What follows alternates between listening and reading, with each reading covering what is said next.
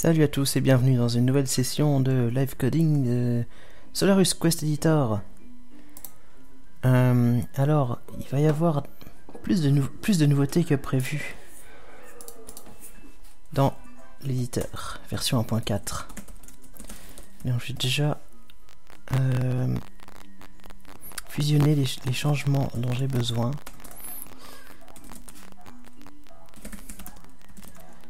Parce que il y a Maxes qui a beaucoup bossé sur euh, les choses qui manquaient dans l'éditeur. En fait, il a fait euh, un éditeur de, dialogue et de chaîne de caractères. Donc je vais juste récupérer ces changements, puis je vais pouvoir vous montrer ça. Alors.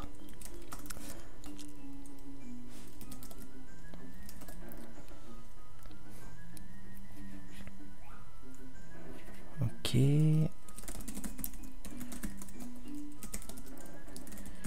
merge.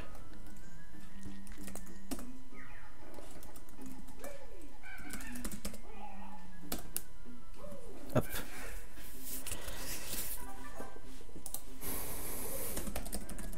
là, je suis en train de de faire le merge du côté du moteur sur mon autre écran. Donc effectivement, vous voyez pas grand chose.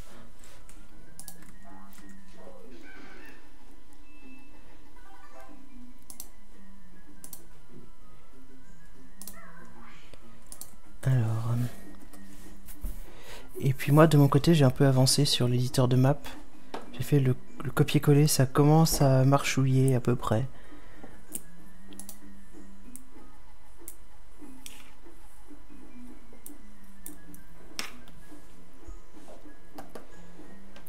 Donc là, il est en train de compiler le moteur. C'est bon, c'est fait. Ok. Alors, on va faire le merge aussi. Du côté de l'éditeur.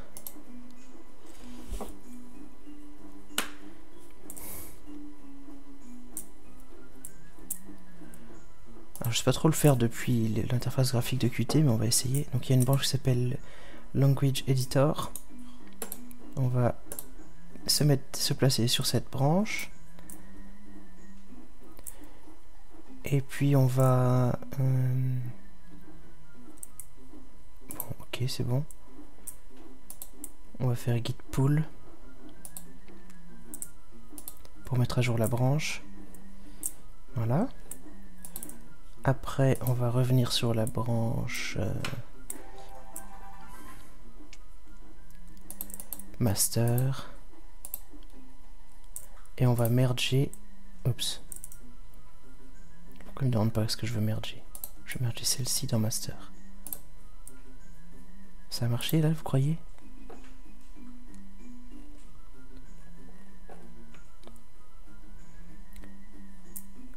Euh, ouais, je pense que c'est bon. J'espère. On va essayer de compiler.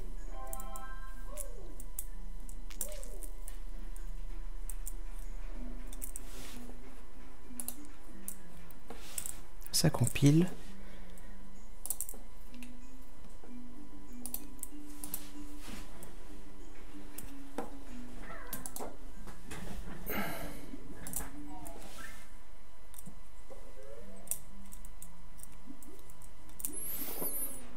Ok, j'exécute. Donc, et donc maintenant, dans les langues, dans les langues, ouvrez les dialogues, ouvrez les textes. Vous avez un éditeur des chaîne de caractères avec les différentes langues, mais là, il y a, dans ce jeu-là, Mercury's Chess, il y a pour l'instant une seule langue. Et puis, il y a un éditeur des dialogues. Alors, euh, je sais pas s'il a complètement fini, mais en tout cas, ça marche déjà. Ça, c'est des dialogues, euh, les dialogues du jeu.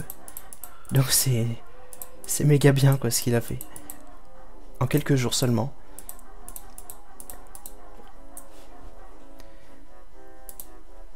Et donc euh, c'est un, onglet comme un autre, vous éditez un fichier de dialogue, une map, un fichier de chaîne de caractères, avec la possibilité de sauvegarder, de annuler, rétablir. Donc euh, ça va être génial. Et maintenant, c'est à moi de jouer pour finir enfin l'éditeur de map. le copier-coller, je disais, il marche à peu près. J'ai à peu près fini. Par exemple là, euh, couper, coller. Coller à nouveau, ça marche. Annuler, annuler, rétablir, rétablir. Annuler, annuler, annuler. Ça a l'air de marcher. Il y a un truc qui marchait pas. Alors quand je fais des clics droits, ça fonctionne aussi. Alors le resize, clic gauche avec resize, bon pourquoi pas.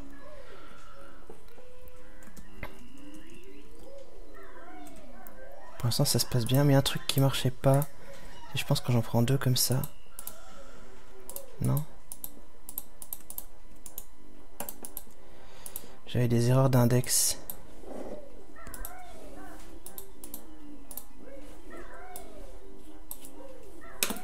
Copier, coller. Ah, j'ai un message d'erreur qui est apparu. Entity index out of range. Donc je sais pas c'est à partir de combien ou dans quelles conditions que ça se déclenche.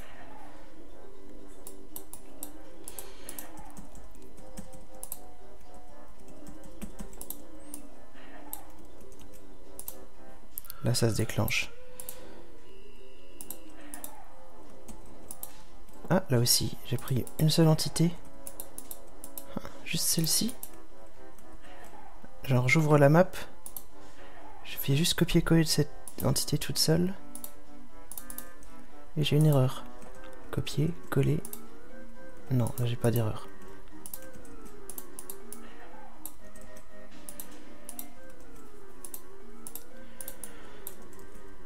Ah, j'arrive même pas à reproduire le bug. Tac. Là, j'ai l'erreur.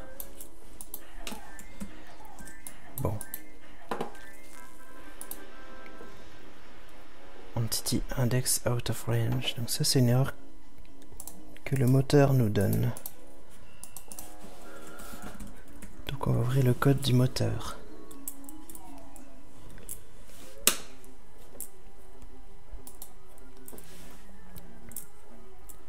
Fatal Entity Index out of range.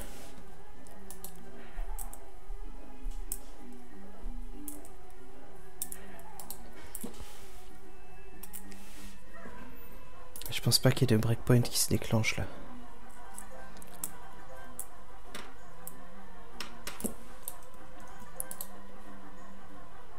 Ah bah je peux faire un breakpoint maintenant en fait.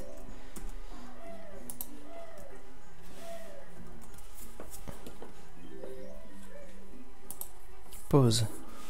Alors, où sommes-nous? Voilà, on est encore dans l'éditeur.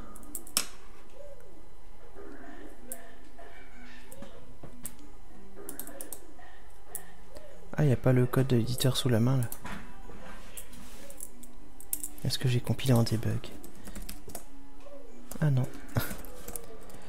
Je vais recompiler le...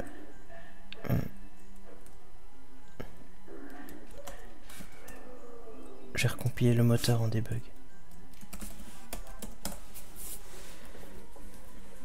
En tout cas, get internal. Alors, edit to map l'entité qui vient d'être ajoutée à la map avec comme index 157 sur le low layer.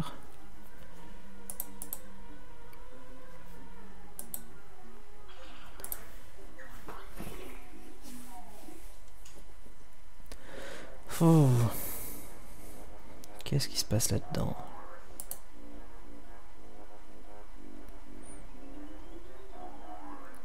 Add entities.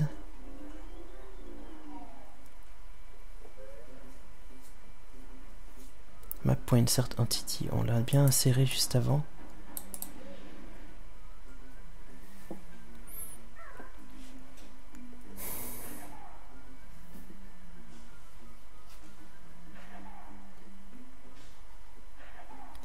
On l'a bien inséré là, mais et apparemment il ne les retrouve plus. Cette layer. Merde.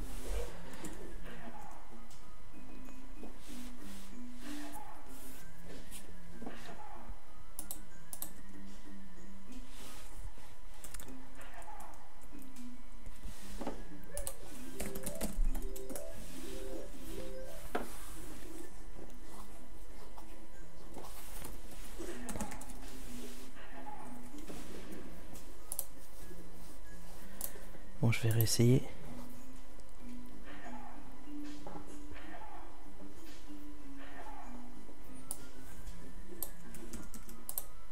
Là, j'ai pas eu d'erreur. Et là, j'ai une erreur. Tac.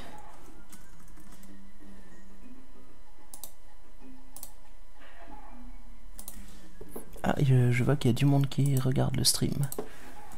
Hello. Donc, où sommes-nous? Ça y est, là, on est dans le code du moteur cette fois-ci. Get Entity. Donc, pourquoi index est out of range? 35 Alors, layer high, edit to map.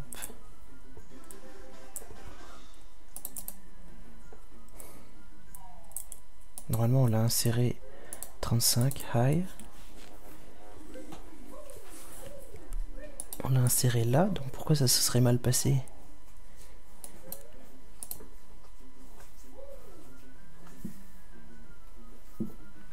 Add to map. Hmm. Mystère.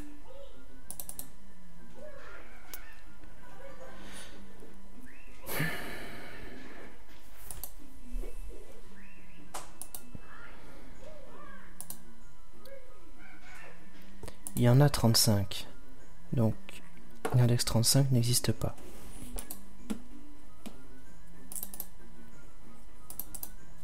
Pourtant, on l'a bien ajouté ici. Alors, il retourne un booléen, lui. Ah. Il y a des choses que j'ai pas prises en compte encore. C'est l'histoire de, de nom. Ah. Sûrement ça. Donc là, il faut que je vérifie si ça s'est bien passé ou non. Bool inserted égale ça. Alors, if not inserted, un petit message d'erreur.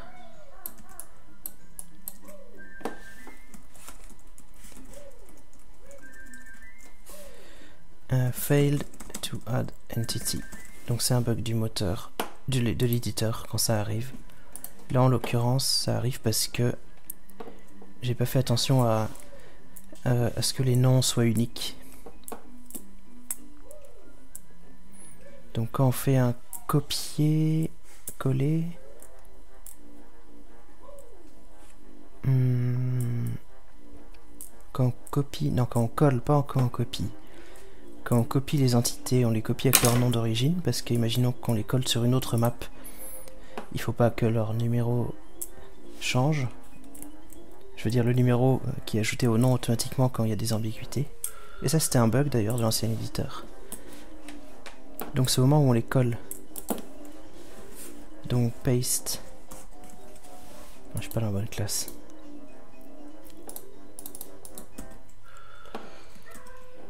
Paste. C'est peut-être là qu'il faut faire attention au nom. Add entities from the clipboard. Start date. Voilà, j'avais laissé un petit to-do pour pas oublier de le faire. Donc euh, je peux arrêter de débugger. Alors. Euh,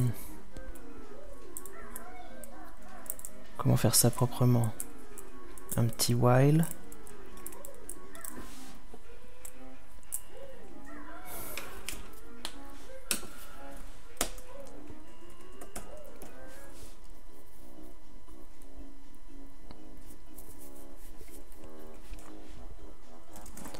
If entity euh, flash has name. Je sais même plus s'il y a une fonction has name.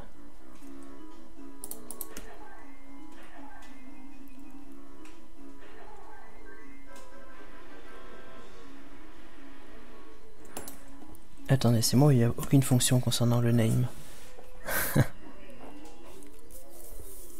ok. Parce que j'en ai encore jamais eu eu besoin dans l'éditeur, probablement.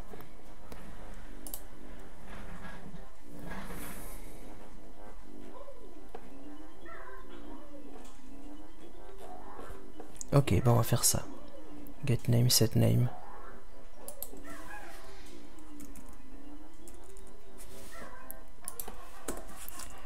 Alors, string Get name const.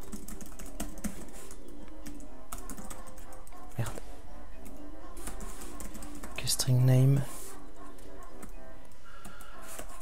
Alors, est-ce que là on ferait pas un booléen? Retourner faux si le nom est déjà utilisé.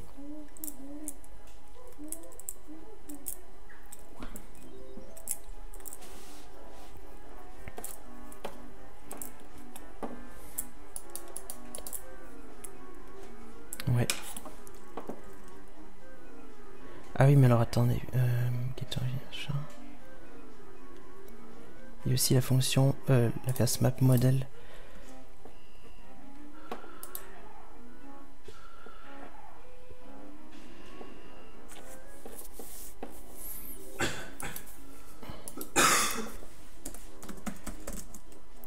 là le point d'entrée normalement.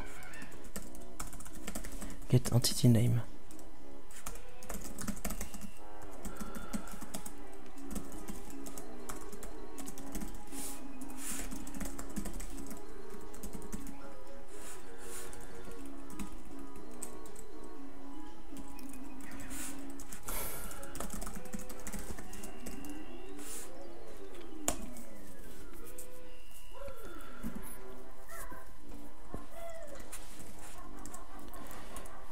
Fonction pour euh, retourner une savoir si une entité si un nom est disponible ou pas. Euh, entity exists. Et puis là on pourrait passer un string name.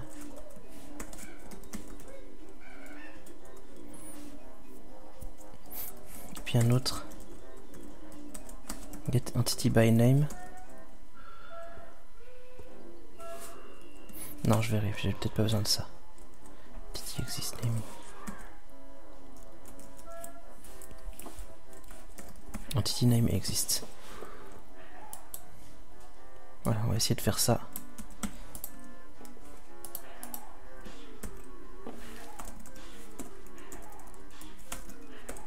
Tac, tac, tac.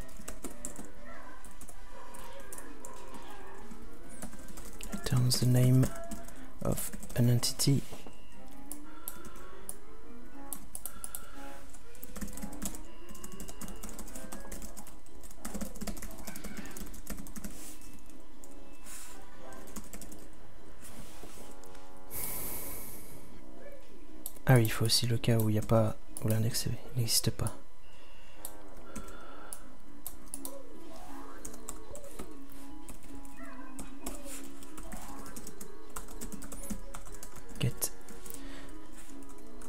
Entity index. Alors oui, hop modèle.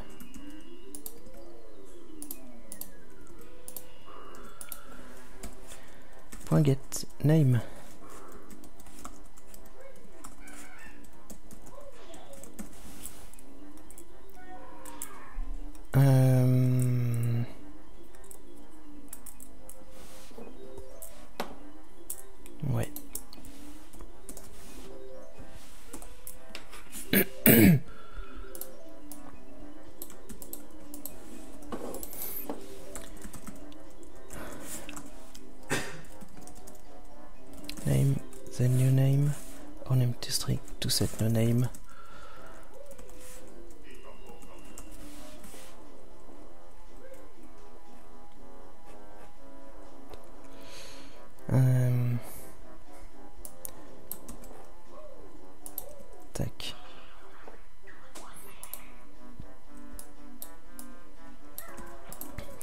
Ah oui, il faut aussi que je dise qu'on retourne.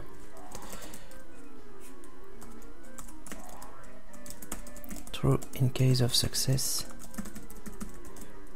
false. If the name was already in use.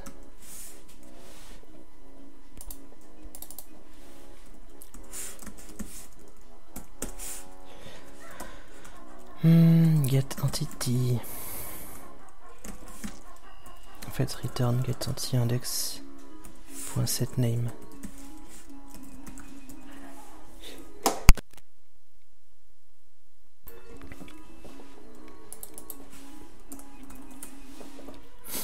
Et donc cette fonction très importante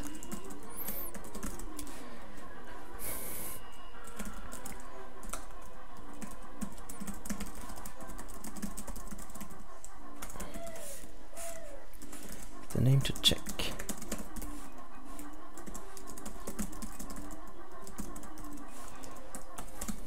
This name is already in use. Ok. Et Hmm, map. Je pense que c'est déjà du côté du moteur. Entity existe name. Voilà, on est dans le moteur cette fois-ci. Ok. Là, je suis en train d'ajouter du côté Qt les fonctions euh, wrapper euh, qui ne font en fait que déléguer le travail au moteur.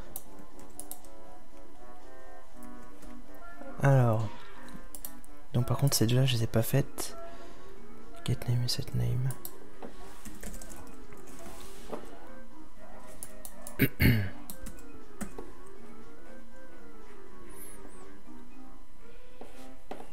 Donc normalement, je pense qu'une entité connaît pas son nom directement du côté du moteur.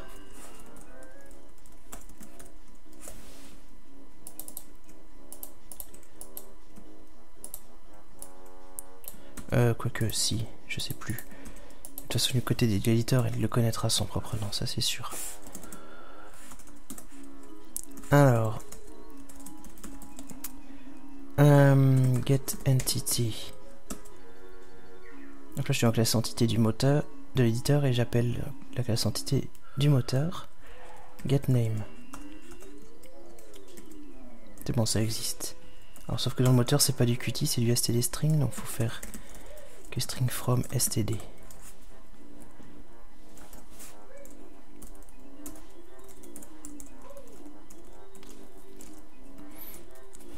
Bon, et puis là, ça va être le même commentaire quasiment.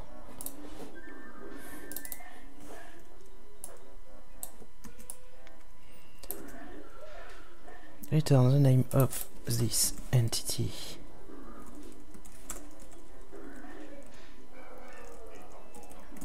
Il n'y aurait plus ce cas bizarre.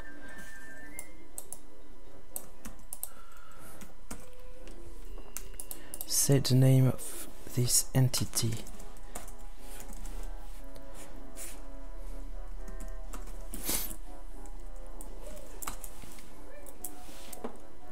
Euh, on va aussi retourner faux dans ce cas-là, tiens.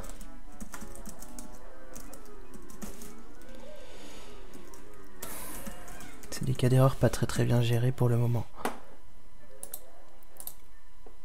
Au moins il n'y aura pas de crash. Euh, get name, set name.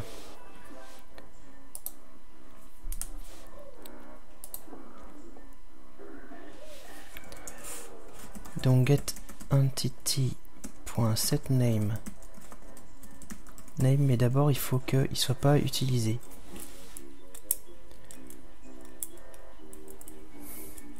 Donc, if map. Non, c'est pas map, c'est modèle. Non, si, get map.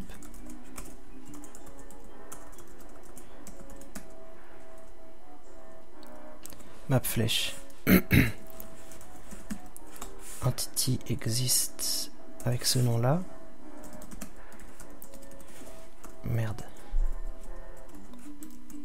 To string, on va mettre ça dans une variable.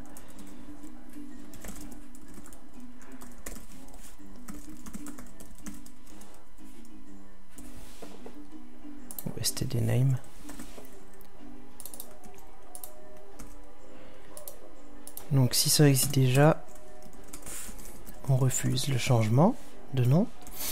Et si c'est bon, on le fait. Euh, sauf que si le nom est vide, on a, a pas de problème. Donc si hop, empty. Si not empty et il existe déjà erreur. Ok. Je compile.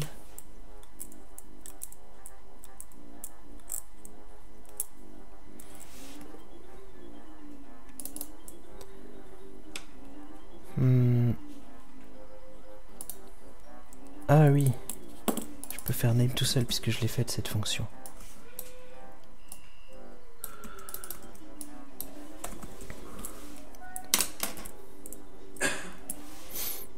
Std name. Oui, oui, oui, oui. Donc là c'est isEmpty.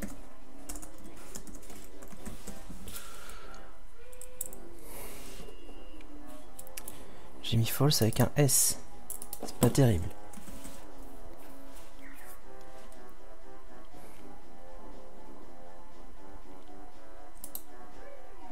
Et puis là j'ai oublié le to std string.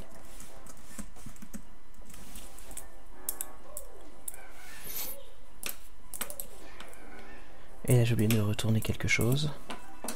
Bon, ici je pense que ça retourne toujours vrai.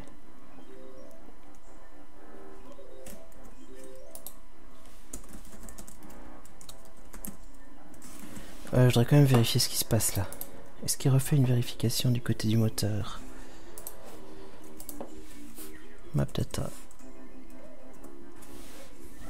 Allez Eclipse, ouvre le fichier .cpp.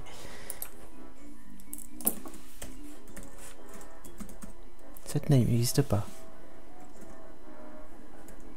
Ah, c'est Entity Data.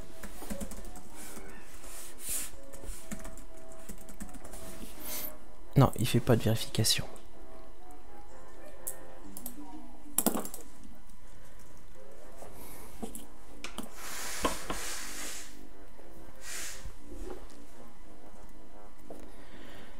Donc c'est à l'éditeur de faire la vérification. C'est parce que le, moteur doit la faire à un autre moment. En fait...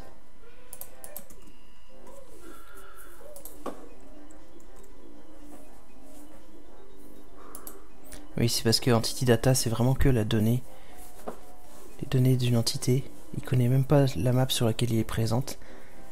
Donc quand vous changez son nom, il peut pas tester les noms des, des, des autres entités de la même map. Donc c'est normal.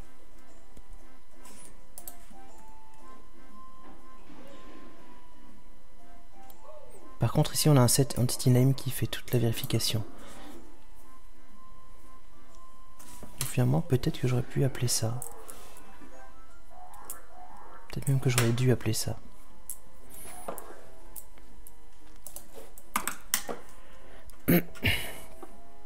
Ah j'ai pas fini d'écrire la fonction ici. Je finirai après. Euh, set entity name.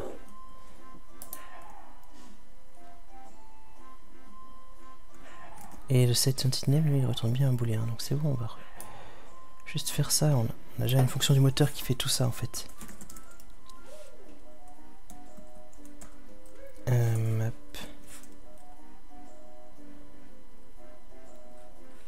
Hmm.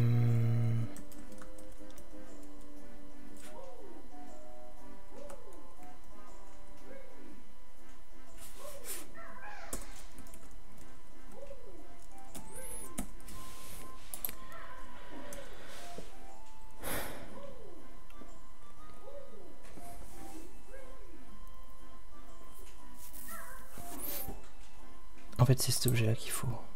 Map data. Mais normalement, je suis pas censé y accéder depuis l'extérieur à ce truc-là.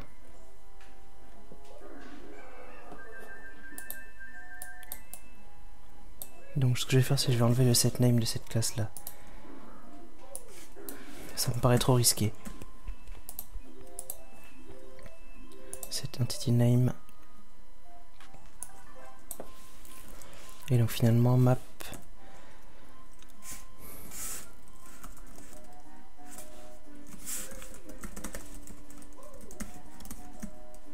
J'appelle directement celle du moteur depuis ici.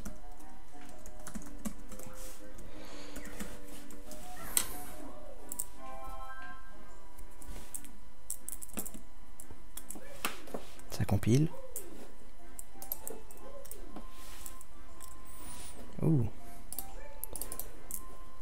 Ça n'oublie pas que je laisse du code euh, comme ça, qui est pas fini du tout. Donc si l'entité a un nom, on va vérifier le nom.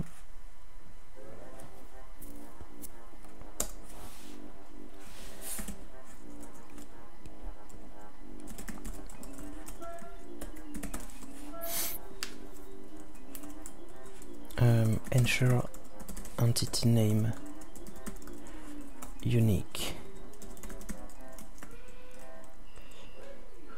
de entity. Donc tant que l'entité n'est pas ajoutée à la map, elle a le droit d'avoir un nom qui est dupliqué. Mais le jour où on essaye de l'ajouter, ce qu'on est en train de faire ici, il faut euh, qu'elle ait un nom unique. Donc on va essayer d'écrire cette petite fonction maintenant.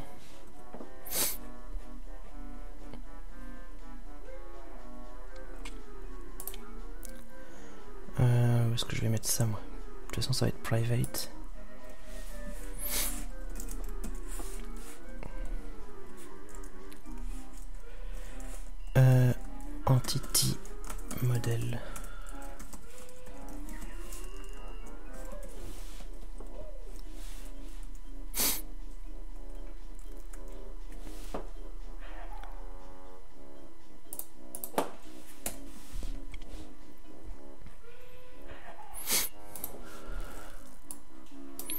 Cette fonction-là, j'avais déjà dû l'écrire dans l'ancien éditeur, donc on va s'en inspirer.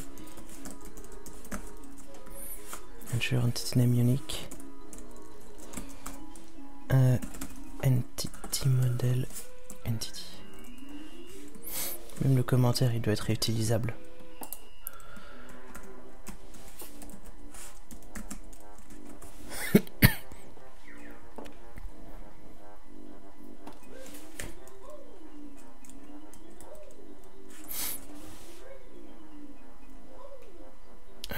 Pas être dans cette classe-là. Ça doit être dans Map Entity.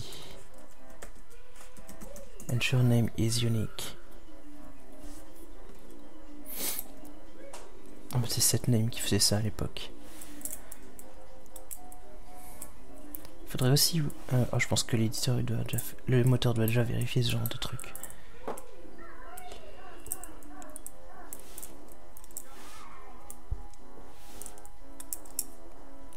Oula, c'est compliqué quand même.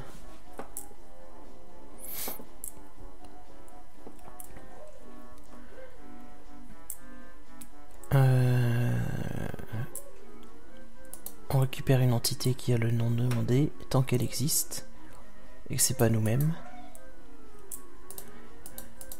On va incrémenter un, un suffixe underscore 1, enfin underscore 2, underscore 3, underscore 4, etc.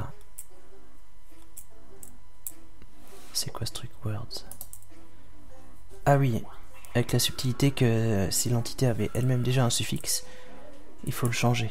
Et non pas juste euh, ajouter un second suffixe. Ok, je fais une toute petite pause et je reviens faire ça.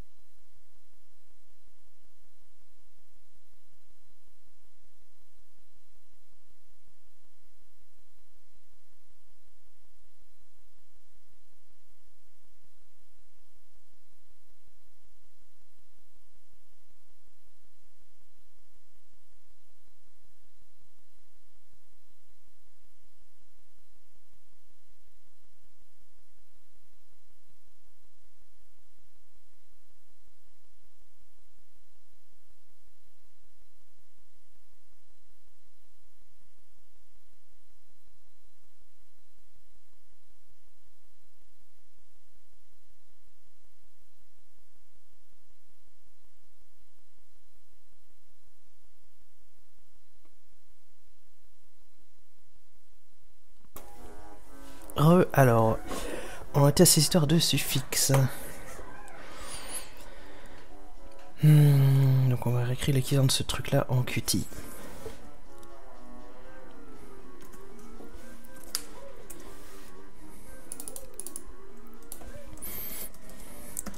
Renames entity if necessary to make sure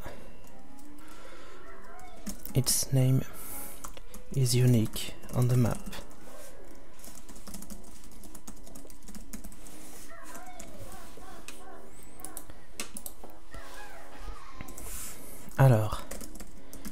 String name égale entity get name. While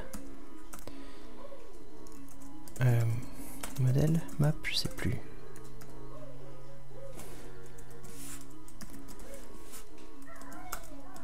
Entity name exists name.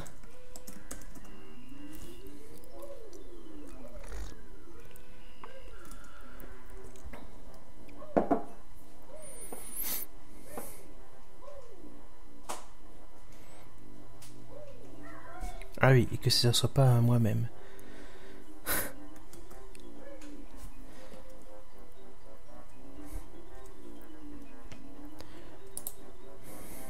Donc en fait, j'ai besoin de la fonction que j'ai cité à écrire tout à l'heure.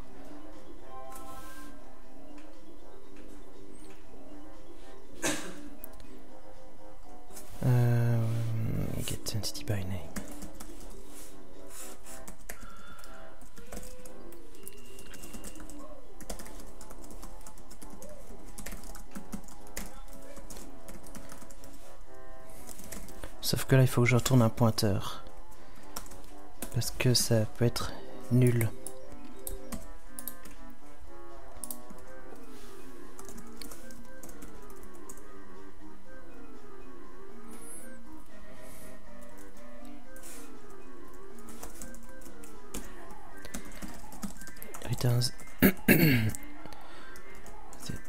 Entity with specified name. Non, c'est bon.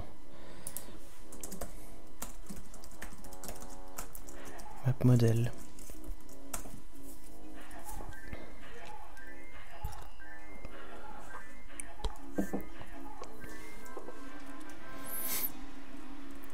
Ou alors je retourne que son index.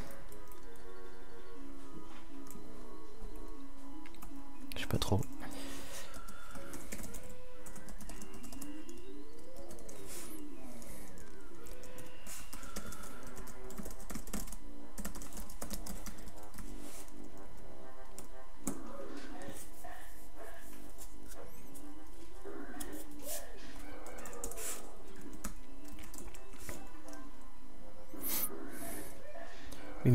Data. Je suis coincé là. Le moteur il me dit pas ce qu'il faut.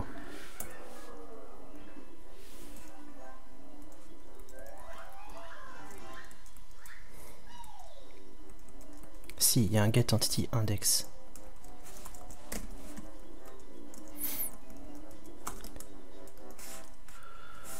De name std string. To std string.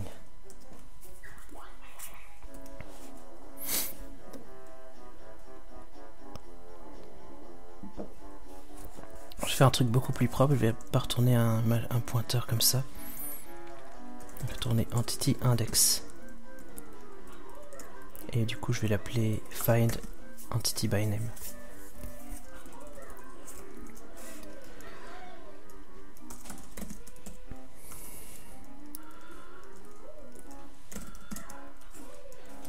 Index of the corresponding entity or an invalid index.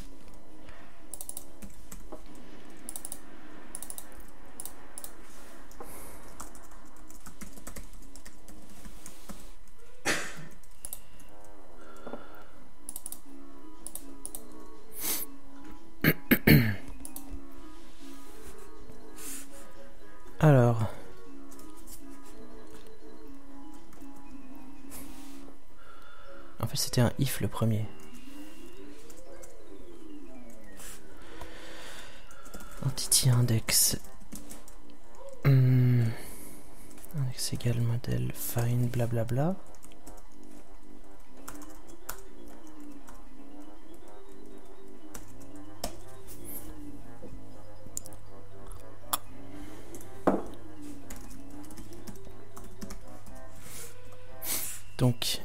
On a trouvé une entité avec ce nom et que c'est pas nous,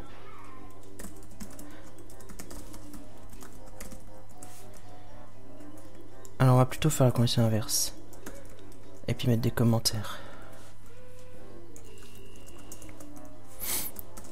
The name is not used. Return. Le travail est fini. Deuxième cas.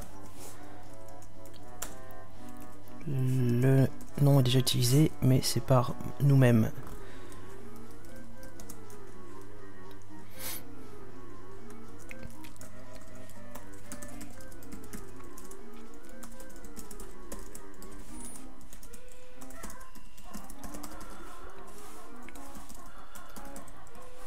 Donc ça, ce serait le cas où on appelle cette fonction sur une entité qui est déjà sur la map. Dans ce cas, il n'y aura pas d'effet.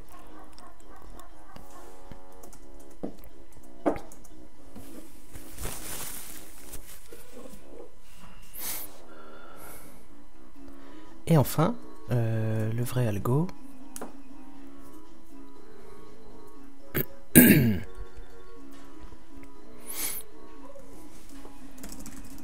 on commence à 2, c'est-à-dire qu'on va, on va ajouter le suffixe euh, underscore 2, ou alors underscore 3, underscore 4.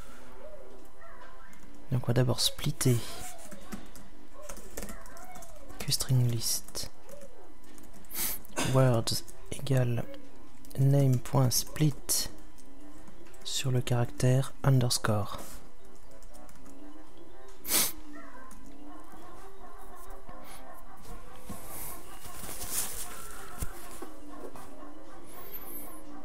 Hmm, suffixe.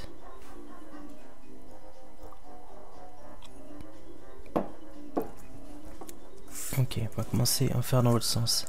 Le cas le plus simple. Works.length égale euh, c'est plus point size dans C++ égale 1 dans ce cas name égale name plus underscore. Et ensuite on ajoutera le chiffre le compteur.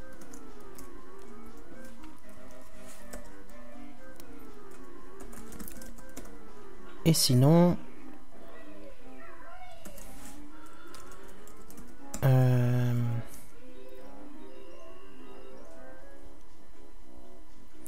est-ce qu'on n'aurait pas la fonction section qui ferait une grande partie du travail en fait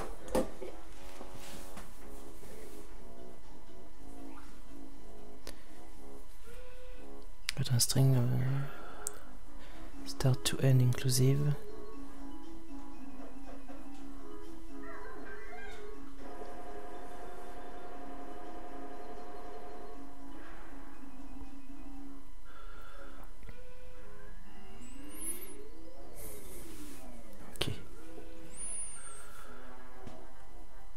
Mais bon, comme on a déjà fait un split. Hmm.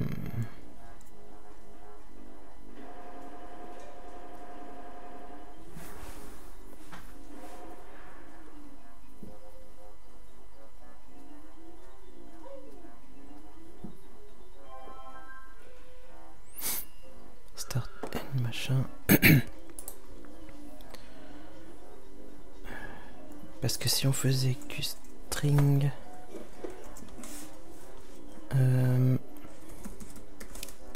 égale name.section. Le séparateur c'est ça. Et de start et end. Donc on part de 0 et on va jusqu'à l'avant-dernière section, donc 0 moins 2. Et qu'est-ce qui se passe s'il y a une seule section dans ces cas-là en fait? Skip empty fields. How to deal with leading trailing separators.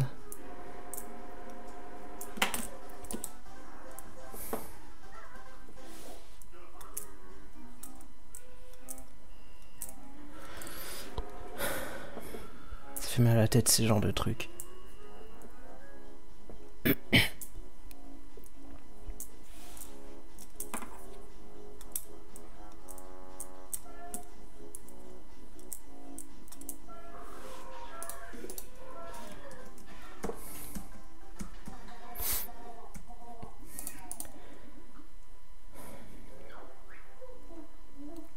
Parce qu'en plus, si c'est le dernier caractère,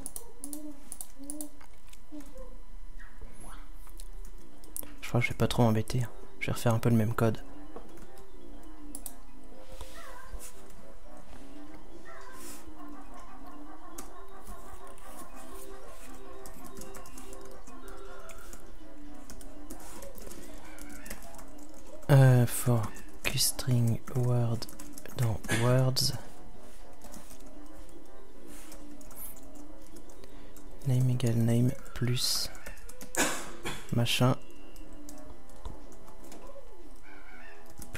Word sauf le dernier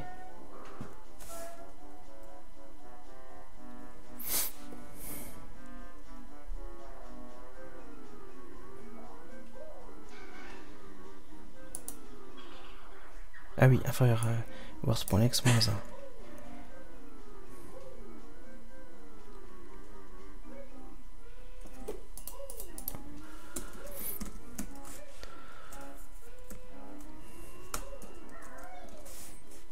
Remove last. Ensuite, je reconstruis ma chaîne. C'est peut-être pas le plus efficace, hein, mais bon. Le jour où il y aura un problème de performance, je ferai un truc mieux.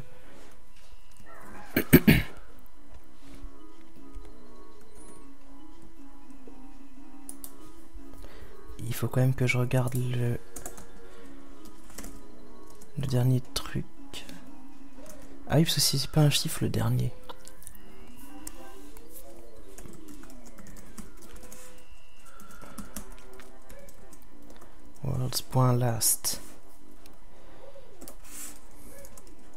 Donc,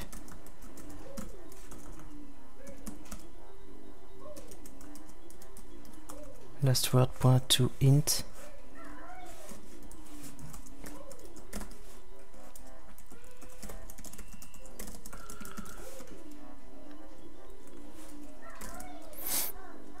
Euh, donc en fait c'est counter ici non counter égale last word point to int machin alors si c'était pas un int dans ce cas on retombe sur l'ancien cas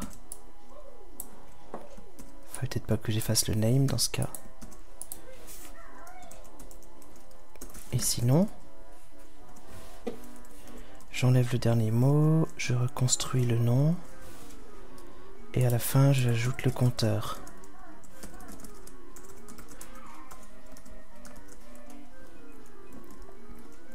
C'est chiant parce qu'en plus je vais même pas pouvoir le tester tout de suite ce code.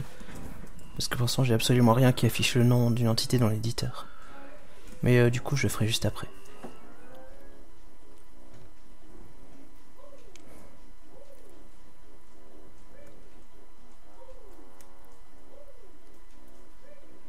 Euh...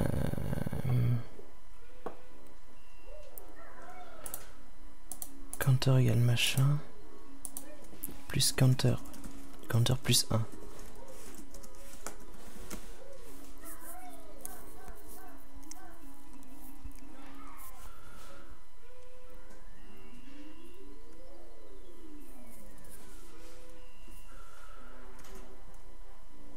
Je pense que ce while là était pas nécessaire.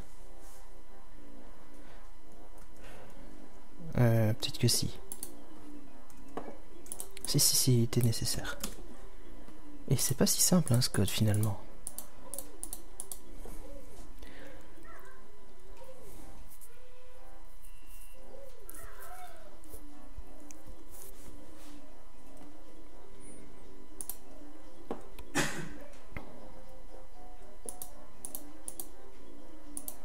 il est nécessaire même si on est dans, dans le cas où on a, où on a matché un compteur.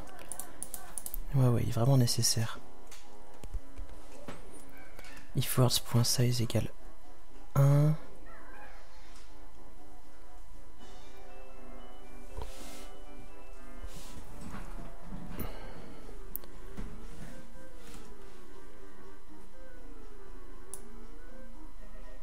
En fait, ouais. C'est ça.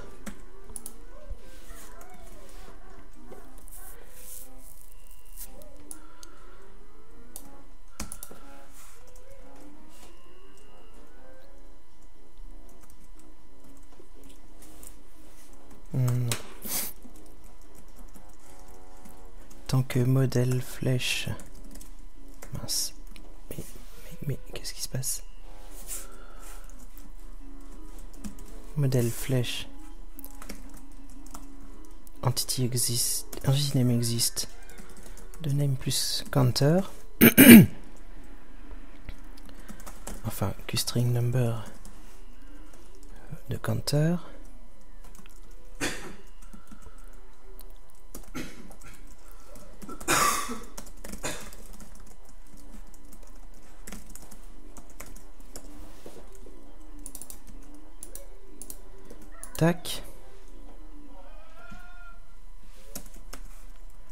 On incrémente le compteur.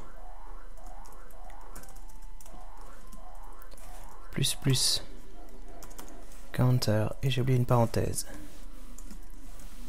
Alors.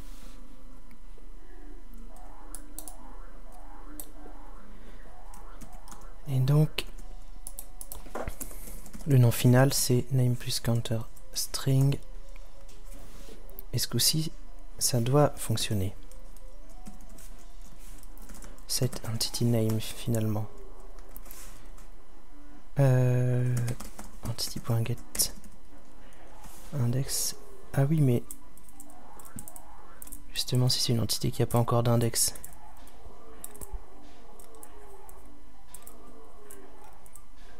On a oublié ce cas. Ah, c'est chiant!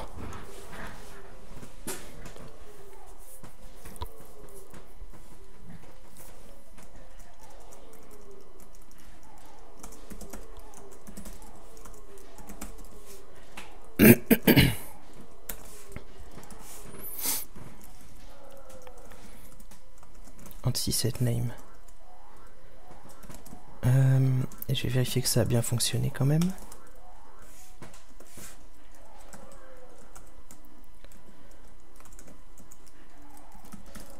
Q assert success et Q unused success parce que en debug Q assert disparaît.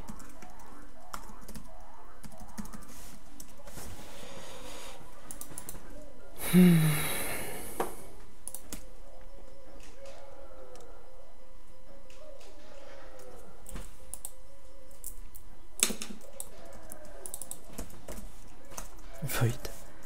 Set name.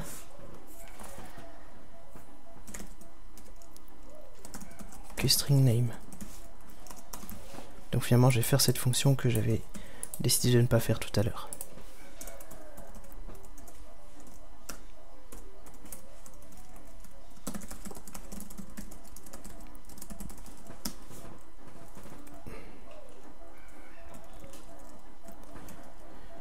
Donc ce qui m'oblige à dupliquer l'information.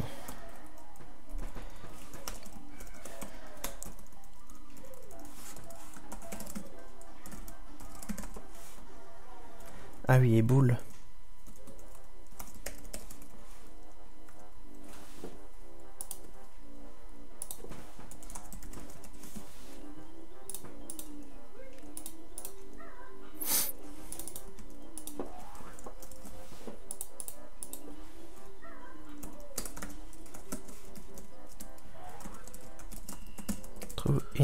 Success.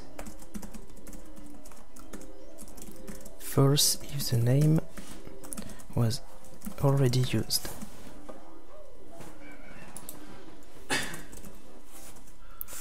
Alors, if map flash entity name exists name. Ben déjà, if name égale this name Return true.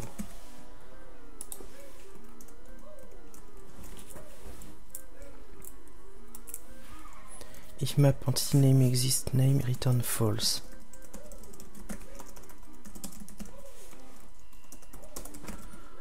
Donc this name égale name. Et if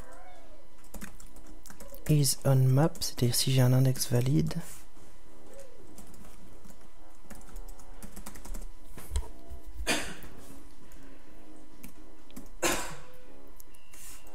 faut que je prévienne la map.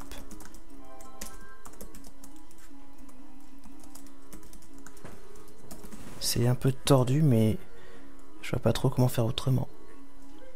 Index de machin truc. On va le mettre ici.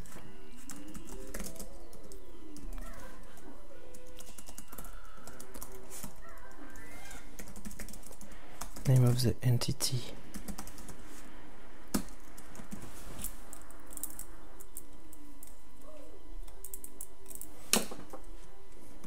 Donc c'est une info qui est dupliquée à partir du moment où l'entité est sur une map. Get name, alors quand on n'est pas encore sur la map, en fait non, il peut faire return name à tous les coups. Maintenant qu'on le stocke.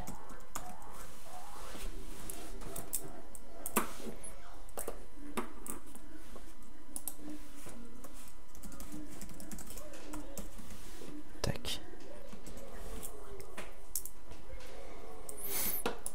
Euh, quand on copie une entité, quand on clone une entité,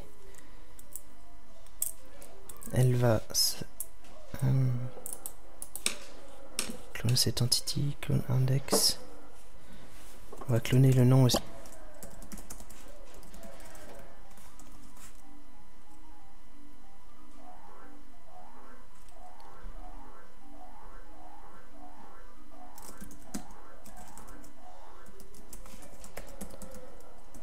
Name index.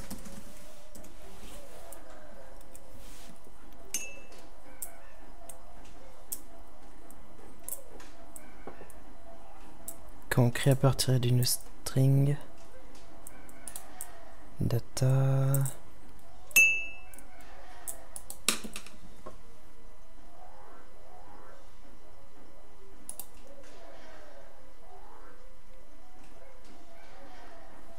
name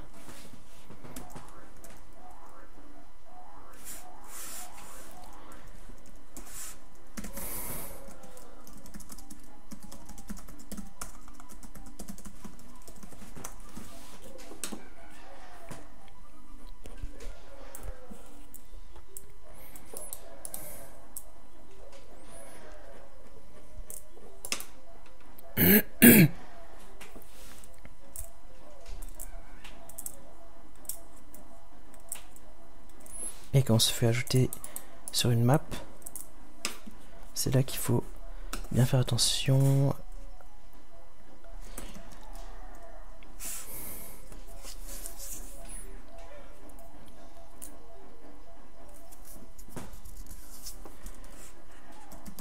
On va dire map flèche name égale euh, non ma flèche set entity name de index name.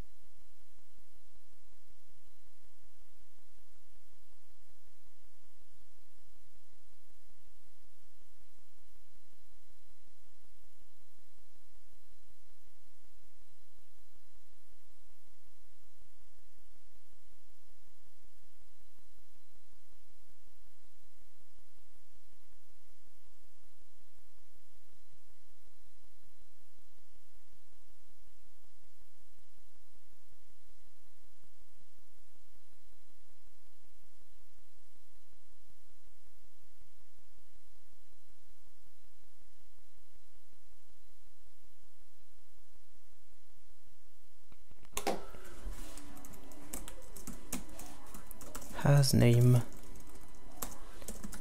Const. Not name point is empty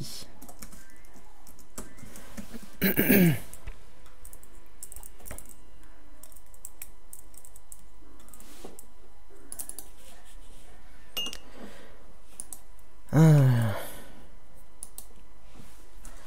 Q-string.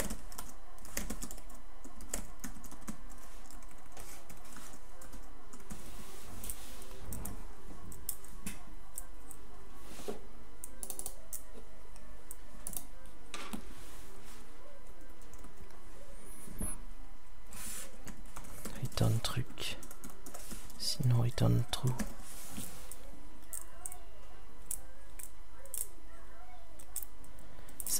Ça c'est dans l'autre sens qu'on devrait faire.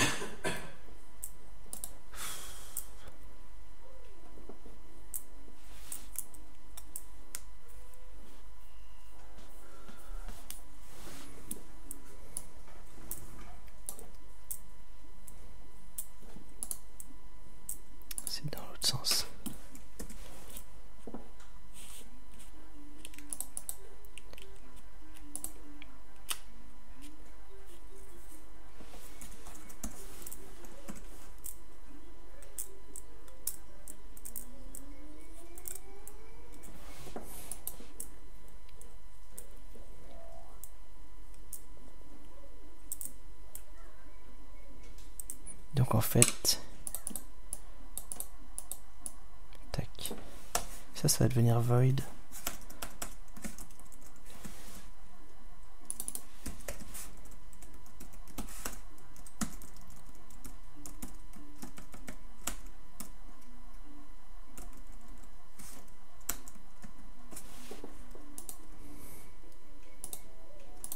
Et cette fonction-là va être appelée par l'autre. Ce sera plus logique.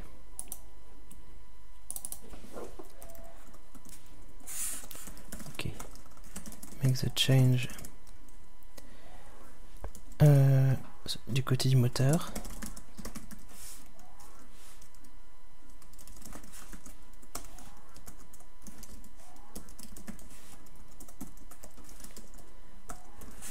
Update the entity from the editor side.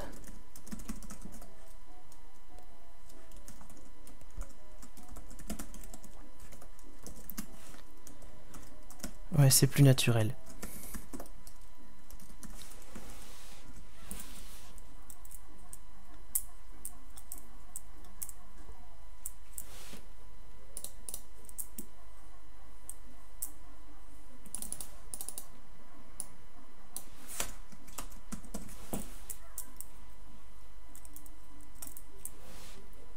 Et en plus, on va pouvoir s'occuper des signaux.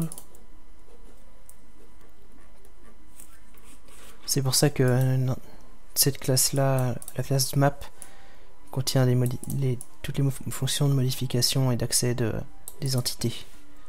C'est pour pouvoir envoyer des signaux Qt. Emit machin if there is a change.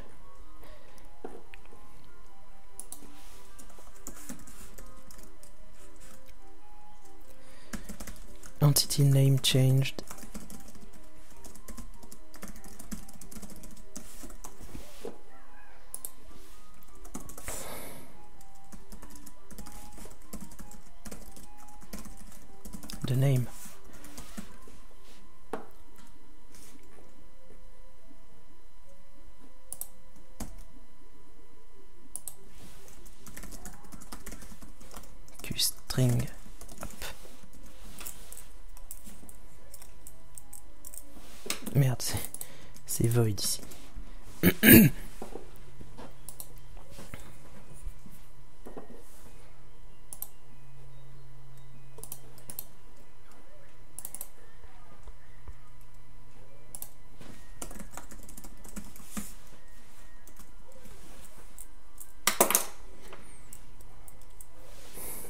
Que le boule n'est pas nécessaire, vu qu'il y a un signal.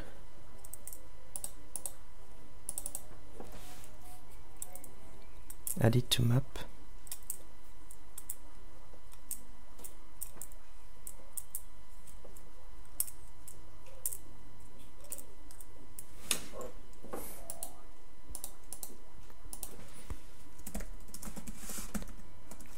on va au moins faire ça pour débugger.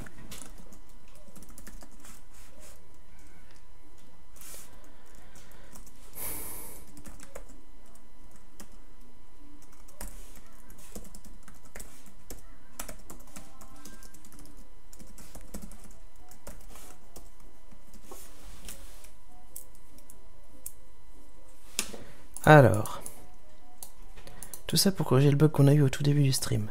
Copier, coller. Génial, ça crache. Fail to add entity. Hmm. Fail to add entity. C'est où que j'avais écrit ce message là déjà?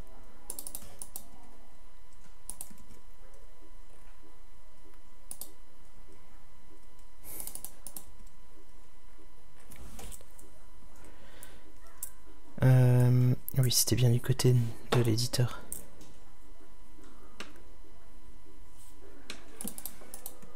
Map view.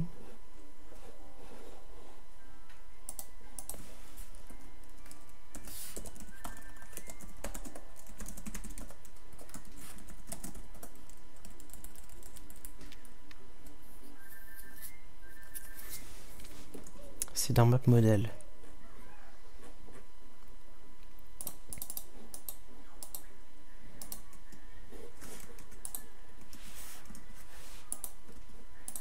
C'est quoi ça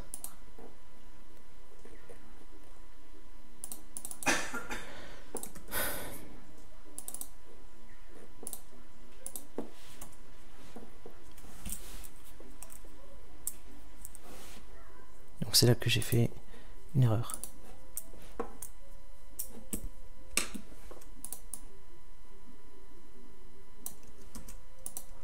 En fait, je pense que c'est la destination qui a un nom. Donc quand j'en mets une deuxième, ça lui plaît pas.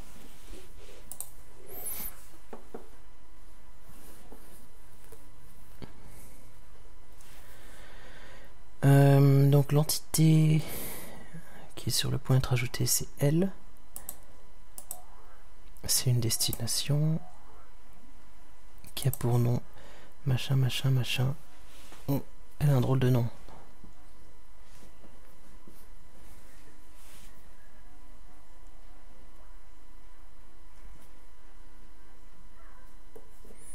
From BA, from B1 à 0, il devrait pas y avoir de 0 à la fin, ça devrait commencer par 2.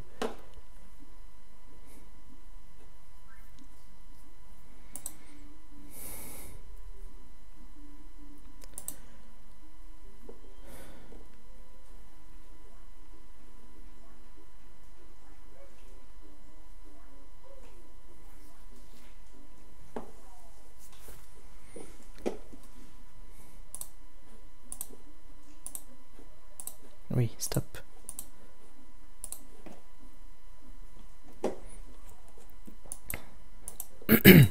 Copier, coller. Ouais. Je- Elle me suit la souris, mais dès que j'essaye de l'ajouter vraiment, paf.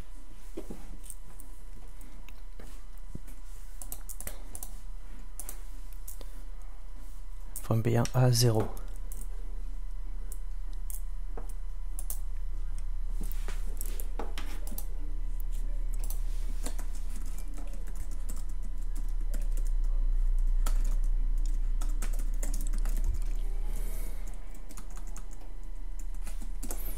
Si je regarde le fichier de la map,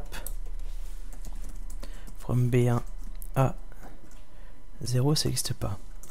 Donc c'est bien from B1 à que la première des deux s'appelle. Et quand je copie, donc, il doit me changer le nom. Alors, premier bug, il devrait pas l'appeler comme ça, mais il devrait appeler from B1 à 2. Donc déjà, on peut s'attaquer à ce premier bug. J'ai initialisé mon compteur à 2. Et je suis dans le cas où on est là. Donc name égale name plus machin.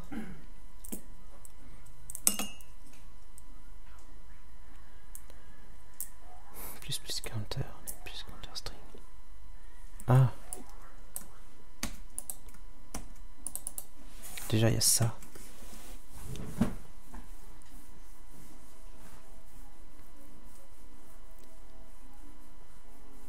Ça n'explique pas, selon moi.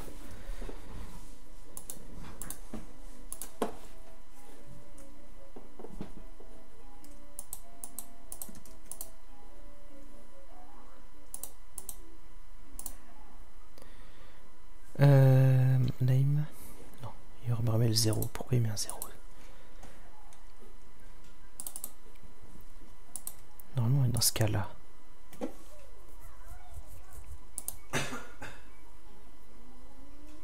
Counter string.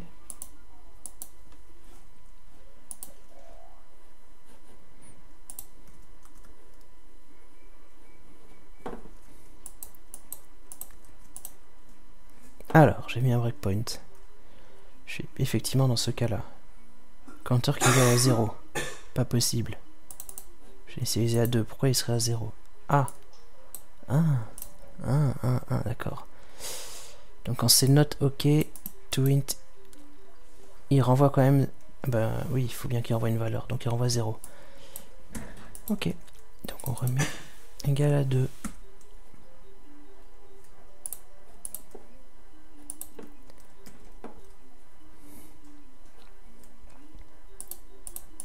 Ok.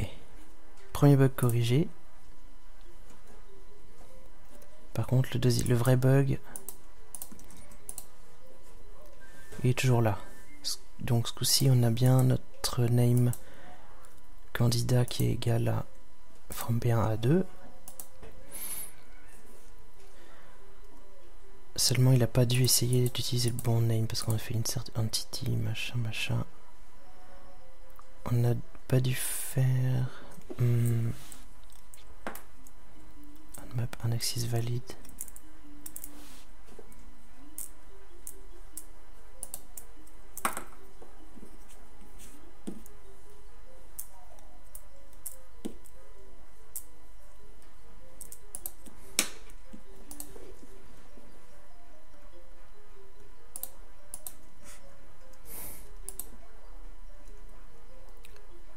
insert entity has name. His name is already used by another entity. Donc c'est là qu'on a ça a retourné faux. Maintenant pourtant.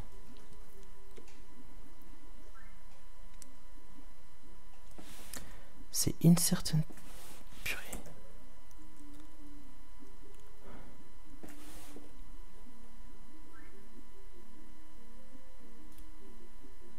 Pour le debugger, j'ai rien configuré du tout, non.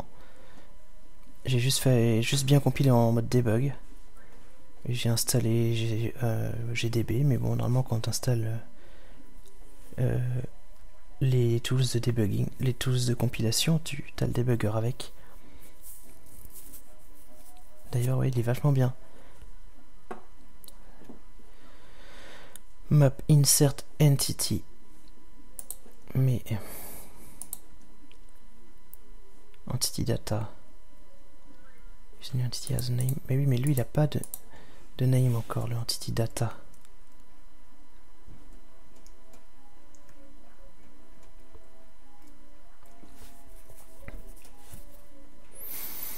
Hmm.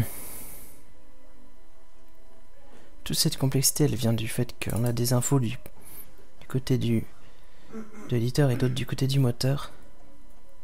Et certaines sont obligatoirement dupliquées.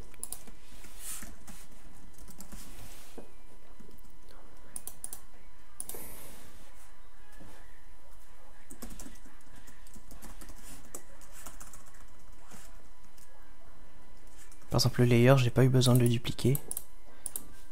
Parce que tant qu'on n'est pas sur la map, il n'y a pas de souci de layer. On n'a pas encore de layer attribué. Mais une fois qu'on ajoute une entité... Alors que les noms, euh, on peut avoir un nom. Le moteur, lui, euh, considère qu'une entité, n'existe pas tant qu'elle n'est pas sur la map. Donc getEntity.setName. C'est ça que j'ai oublié.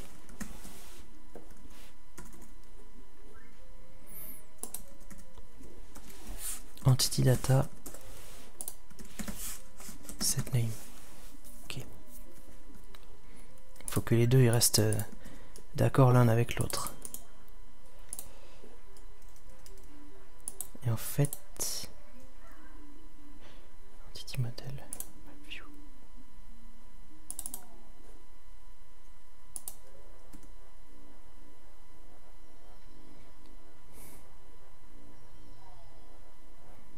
Set name. Ouais.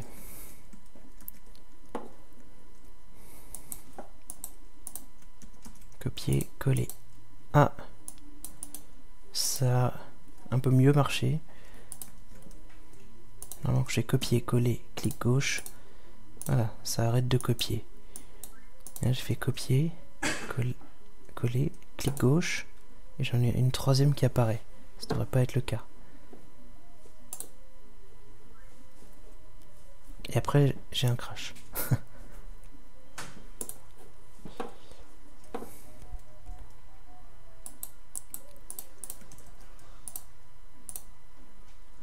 segfault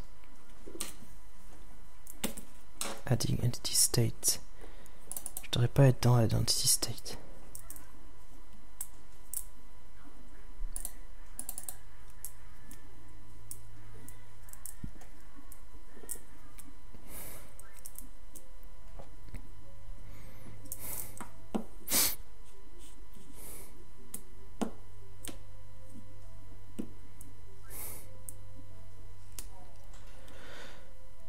Entity égale nul.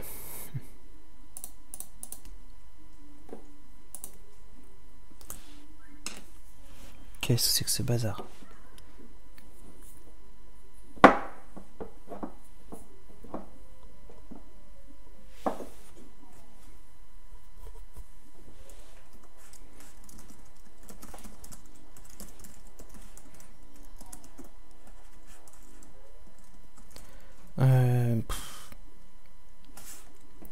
On va plutôt faire une QAssert. Entity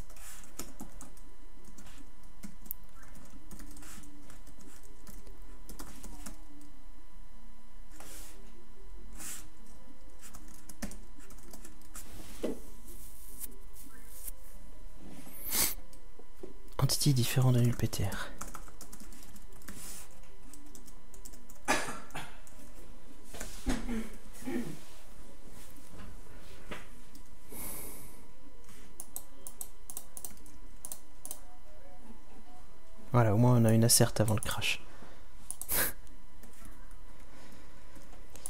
Alors, donc pourquoi il n'a pas quitté le state?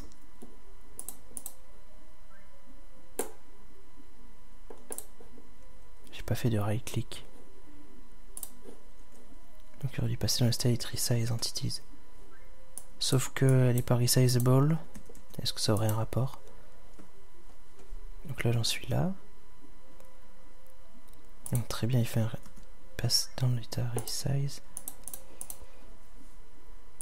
Ah, sauf que cette fonction-là, elle, elle, a pas d'effet si elle est pas resizable.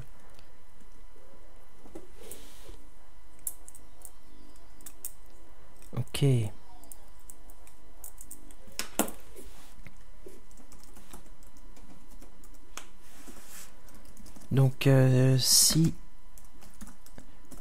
les entités sélectionnées sont resizable.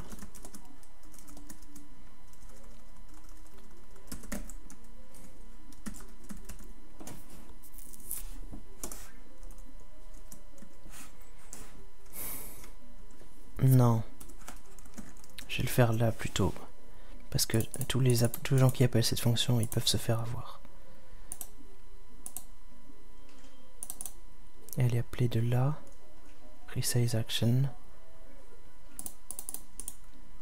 Ouais. Donc là, on, on, va dans le state uh, doing nothing. Nothing.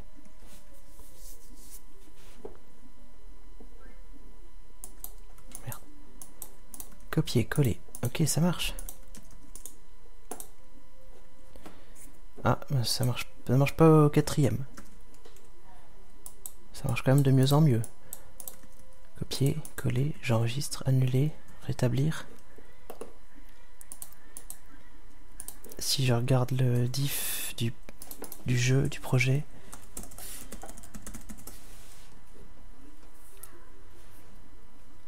Ah, il faudrait que j'enregistre une première fois la map déjà parce que j'ai des diffs euh, superflus.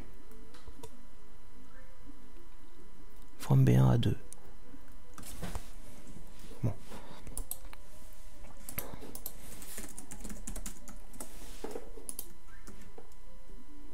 Je vais faire un premier un enregistrement sans rien faire, sans rien changer.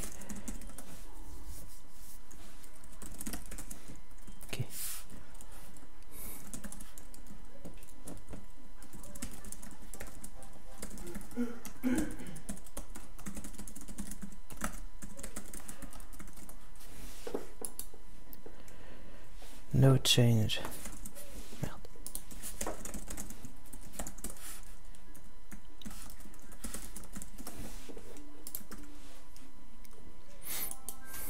Comme ça, je vais vous montrer le diff. Hop, j'enregistre.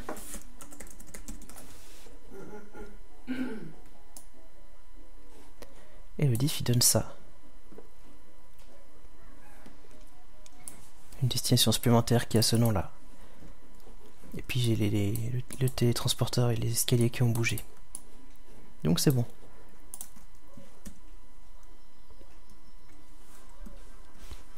Jusqu'au moment où effectivement ça déconne, j'en fais un troisième. Je reprends le premier, je le colle. Là maintenant j'en ai quatre.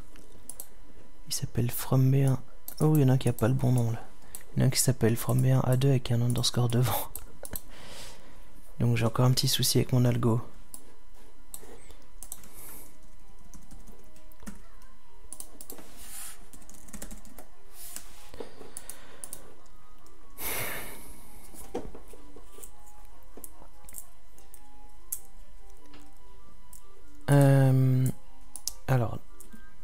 Quand même comité.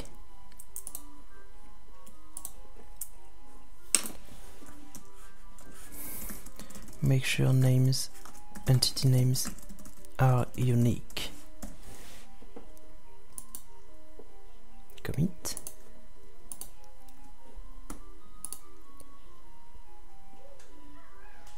Push. Ensuite, euh, on va afficher dans la barre de statut le nom de l'entité sélectionnée quand il y en a une, qui, une seule qui est sélectionnée. Donc la barre de statut elle est gérée probablement par la classe map editor. Si j'ai fait les choses bien, j'ai dû faire une fonction update status bar ou build status bar. Ah, j'ai pas fait les choses bien. Je l'ai mis à jour que quand la souris bouge. Hmm.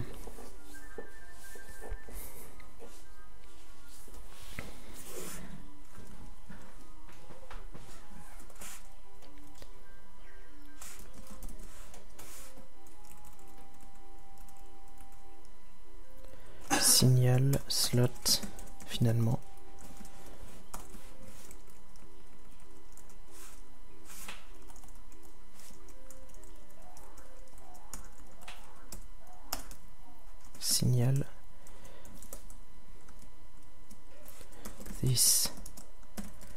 Update status bar.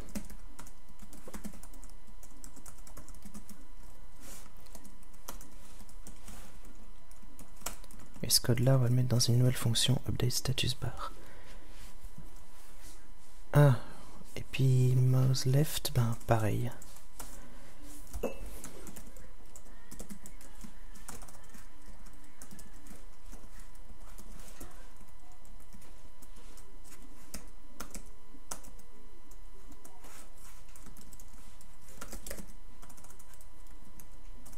This slot les status bar.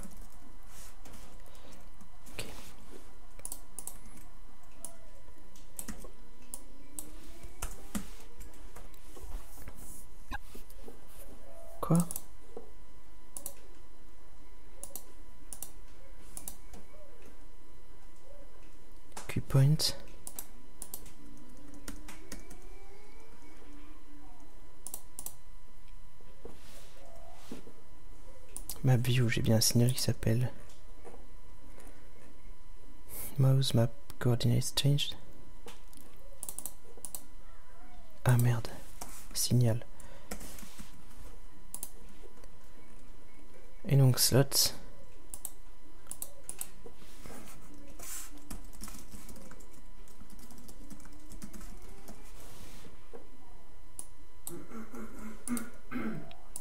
Ah tiens, update the status bar. J'avais déjà fait un to-do.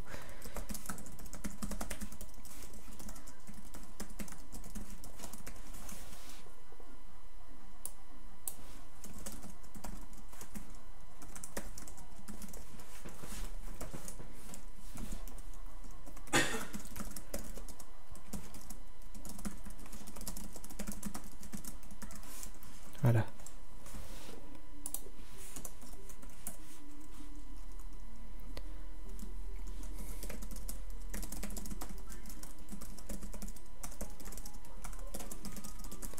Voilà, the cursor and the selected and the selection. Et donc je devais aussi faire un clear status bar. Sauf que non. C'est juste update status bar.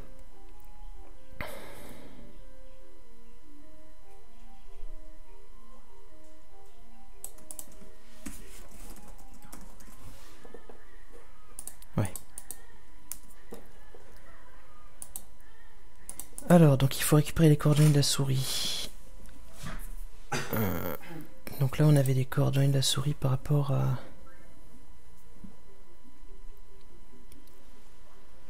à la... hum, Je ne sais plus. Il faut regarder la doc de MapView.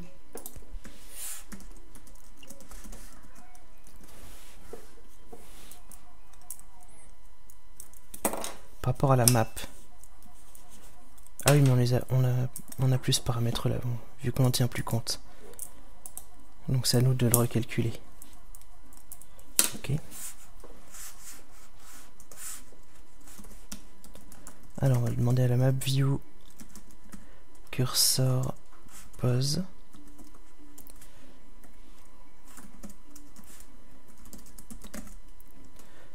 Donc vi- view xy.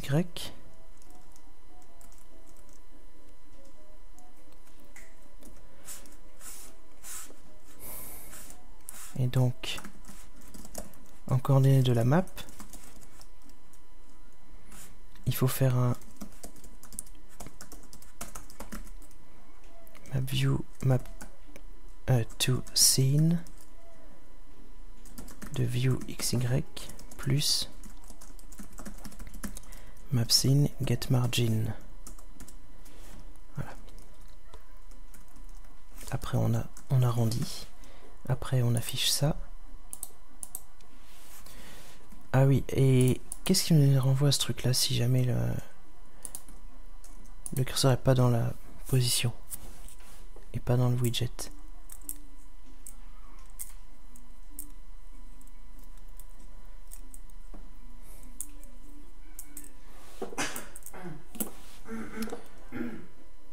Ok, ça m'aide pas beaucoup. Curseur pose statique.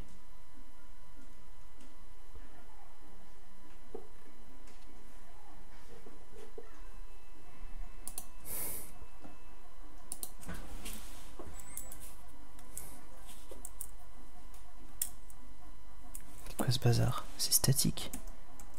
La fonction que j'ai appelée peut pas être statique, ça aurait jamais marché avant. In global screen coordinates.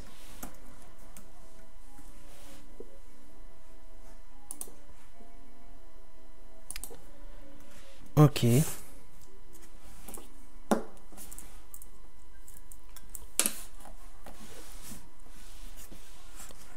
Donc map from global.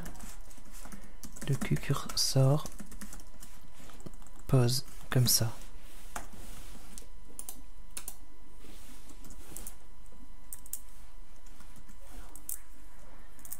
Donc euh,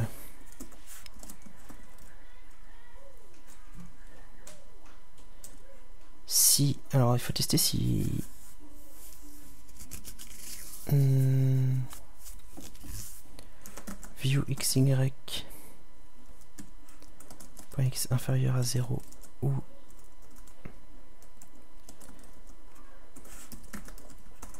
view xy point y inférieur à 0 ou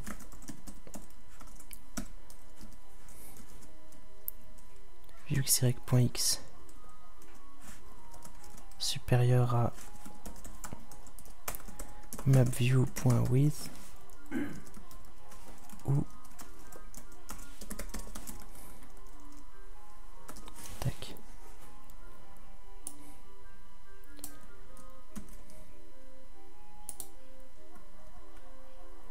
En fait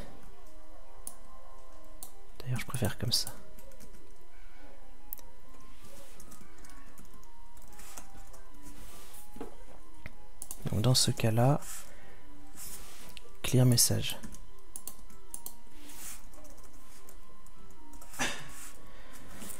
Euh, non, pas tout à fait. On va fier deux choses.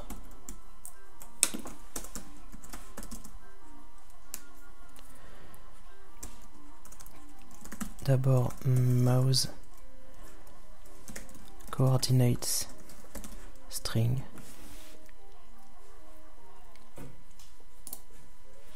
Donc finalement, on va faire l'inverse.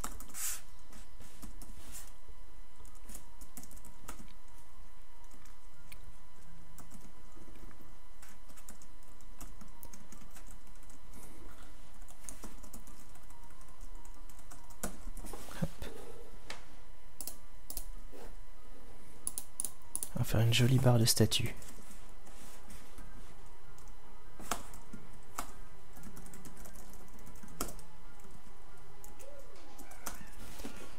Mouse coordinate string égale en fait tout ça. Voilà.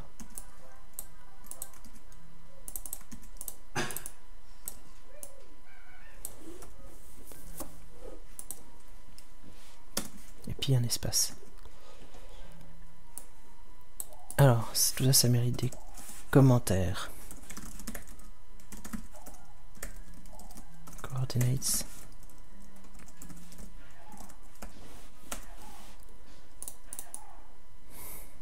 Deuxièmement, show the name of the selected entity.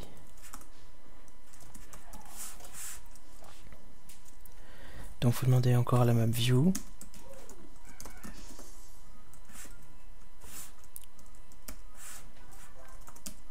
get num selected entities égale 1. Si on a pile une, on affiche le nom.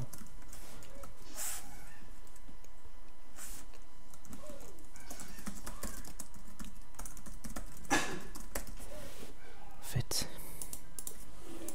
On plus tard. Selection string.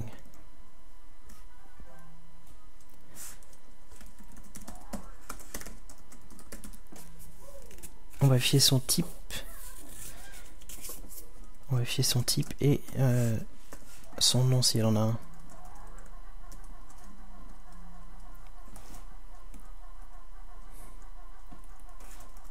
Hmm.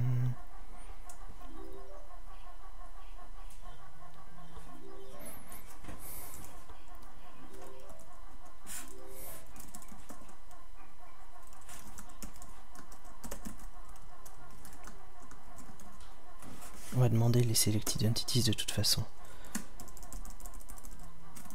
On a besoin. QList de... Attendez, ça renvoie quoi ça? Merde.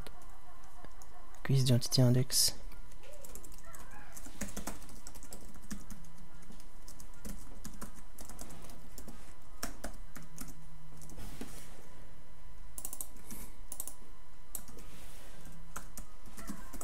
Donc s'il y en a un seul...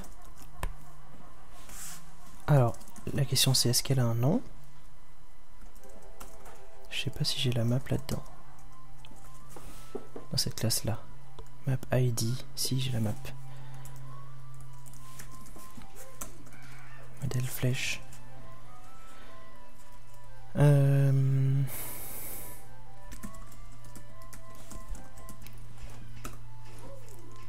Donc QString en fait name égale modèle get entity name de indexes.first.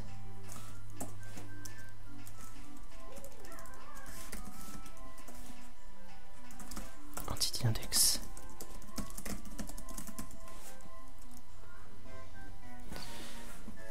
Donc,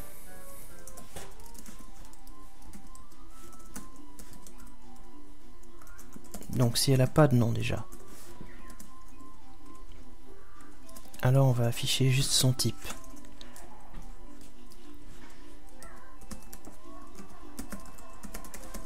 Get entity type name. Euh, il faudrait friendly name. Ça c'est le Lua name. Le friendly name c'est entity traits. Get. Je sais plus comment ça s'appelle, friendly name.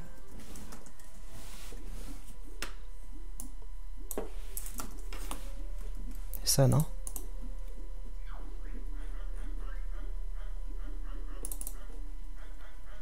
Get friendly name de value.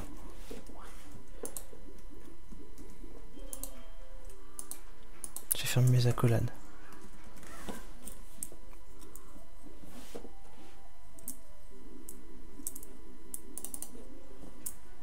Hmm. Pourquoi il connaît pas status bar?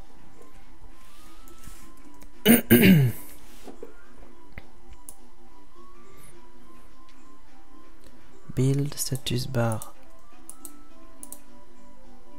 Effectivement. Quoi pour... Ah. ah oui, c'est pas une status bar de la Windows, c'est une status bar de d'un sous-widget de l'éditeur.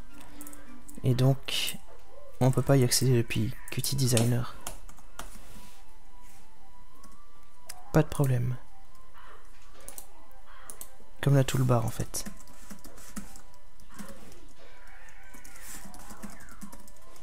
Euh, je sais plus. Je dois être comme ça. Status bar with information about the map view.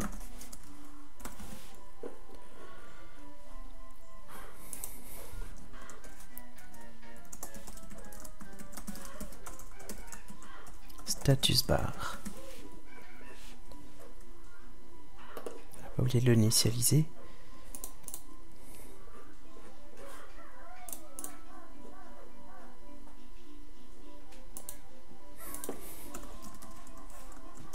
Non.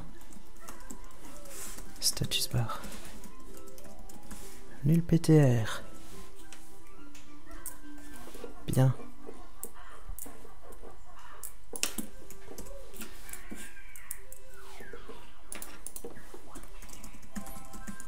Ça coûte rien de vérifier qu'il est pas nul PTR. Si la status bar n'a pas été construite, on fait rien. Ça sera pas un énorme bug. sera, c'est mieux qu'un crash. Ma pixie. Alors, qu'est-ce qu'il va pas? Toujours pareil.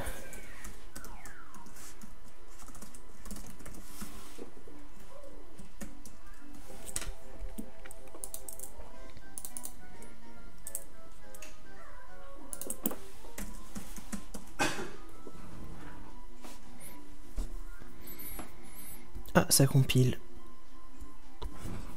Hmm, bon. J'ai pas fini. Si name is empty, je fais ça.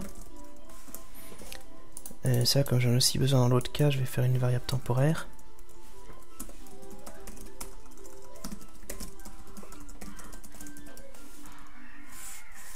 Donc là, c'est juste type name dans ce cas. Et dans l'autre cas, ça va être... Hmm. Non, il n'y a rien à... Il a rien à traduire. Ça va être... Donc finalement, ça va être type name. Plus espace. Plus deux... Enfin, deux points. Ah oui, donc si, il faut bien traduire. TR% 1 2 points pour 102. Parce qu'en français, par exemple, il y a un espace, une espace avant le 2 points. Point arg type name et name.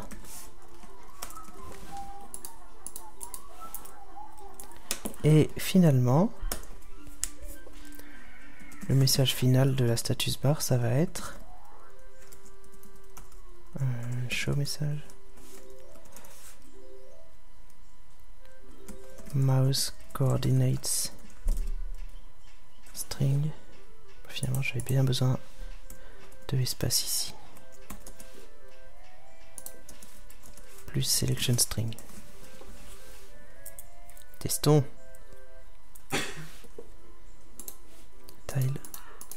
Voilà, donc j'ai le type de l'entité sélectionnée qui s'affiche. Coffre. Ah oui, c'est vrai, c'est en français. c'est trop classe. Escalier, téléporteur.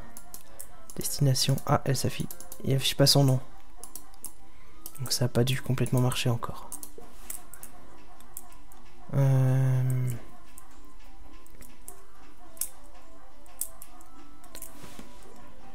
j'ai une petite idée de pourquoi.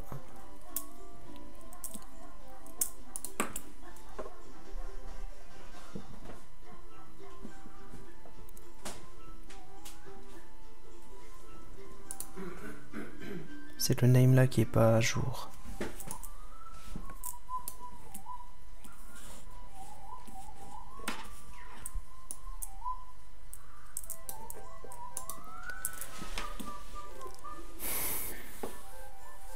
Alors, quand on fait create from existing entity, c'est-à-dire lui, map get entity,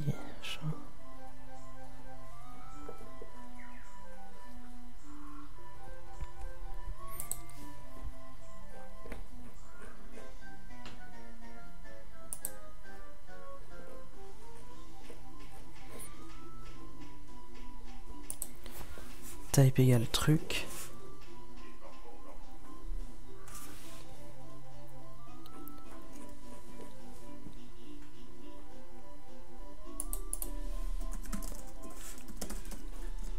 Et name égale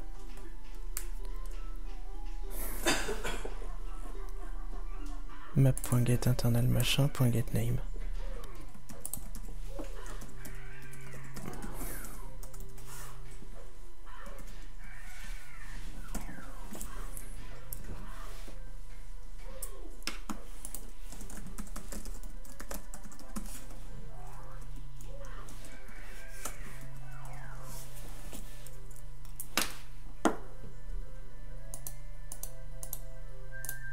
ça.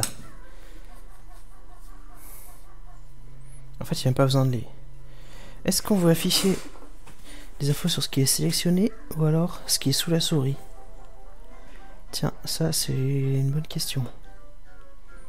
Plutôt sur ce qui est sous la souris, non? Ça serait mieux.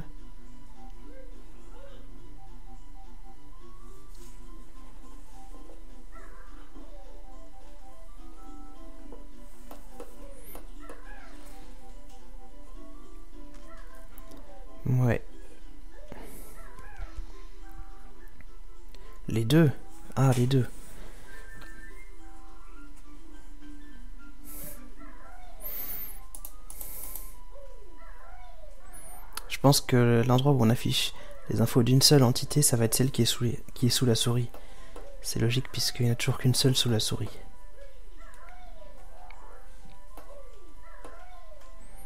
Peut-être que les coordonnées, on devrait les afficher alignées à droite là.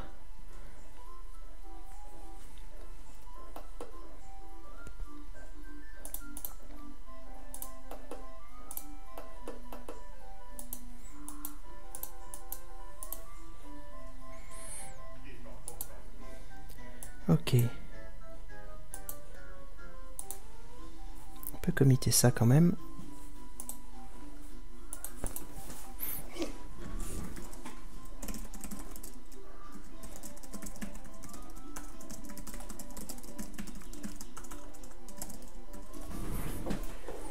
status bar.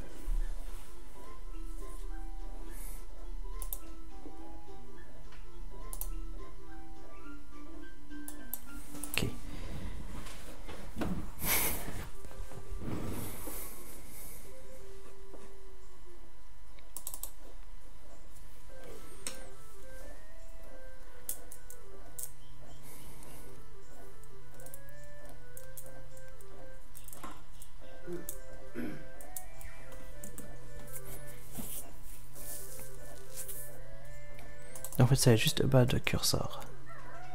Show mouse coordinates. Show um, information about the entity under the mouse.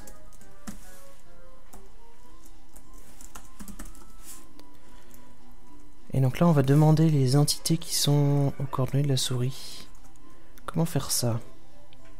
J'ai besoin de la scène, à mon avis. Ouais, mais non. On va faire une fonction.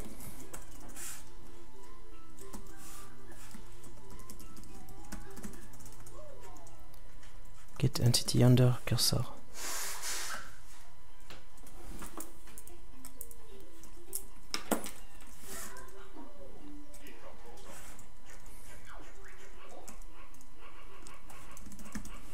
Comme ça.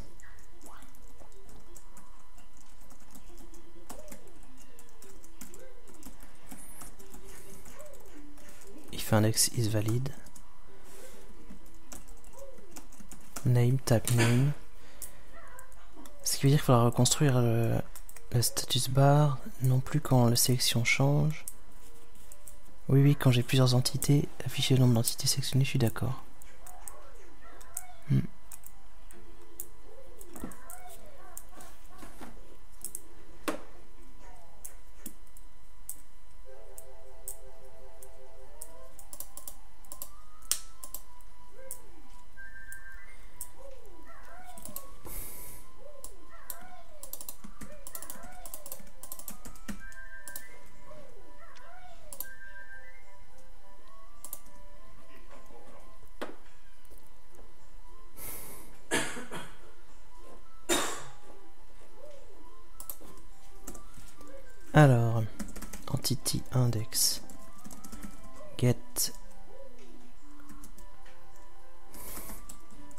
Entity index under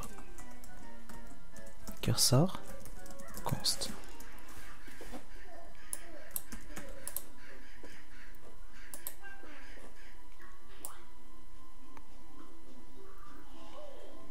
Mettre ça après les fonctions qui concernent la sélection.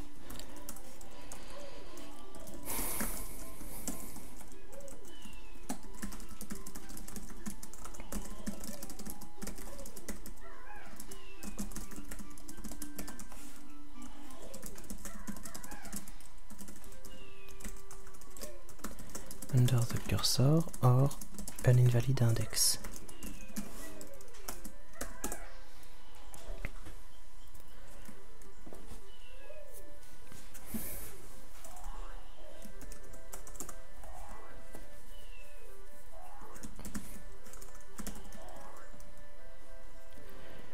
Euh, items, c'était ça. Item at. Cool, il y a une fonction item at. Top most visible item. C'est parfaitement ce que je veux.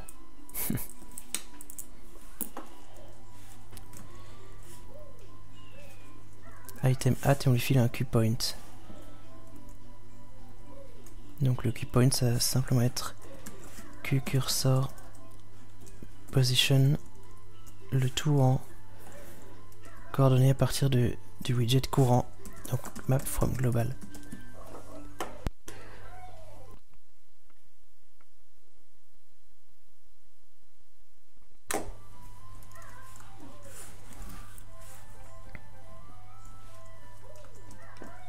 Oups. Euh, sauf que après je me retrouve avec un machin de type euh, QGraphics item et ça, ça serait plutôt pour la, la scène pour la vue.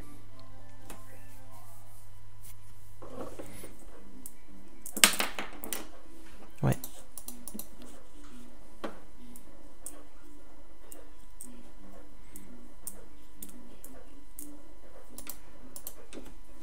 Get. Ah non, il y a une. J'avais déjà fait une fonction get entity from item.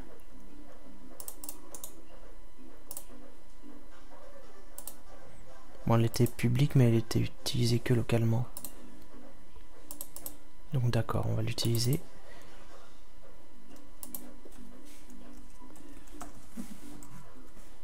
Merde. Scène.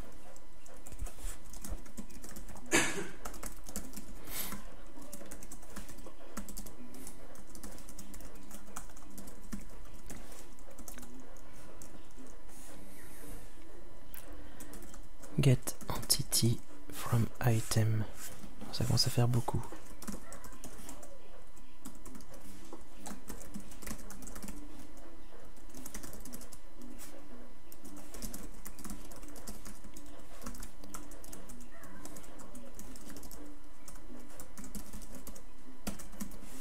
Donc c'est le cas où il n'y a pas d'entité sous la souris. C'est pas du tout une erreur. Et sinon...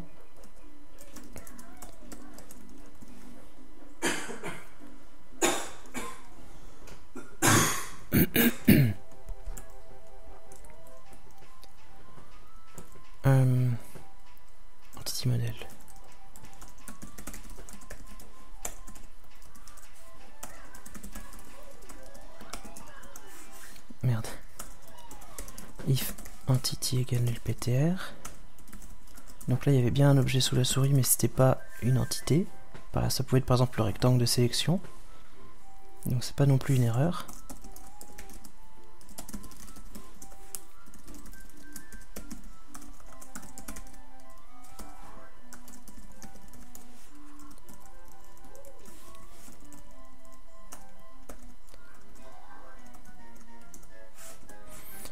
Et si on a bien une entité, on n'a plus qu'à lui demander son index.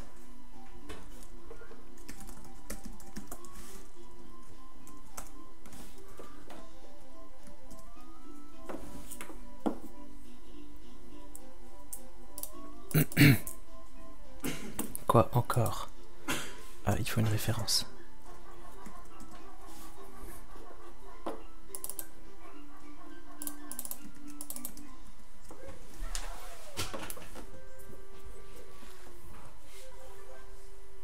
C'est mieux.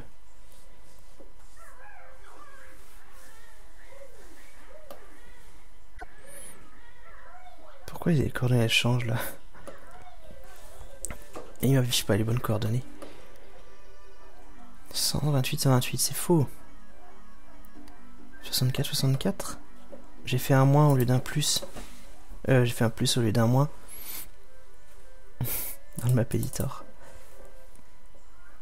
Euh, c'est là, il fait que je fasse un moins.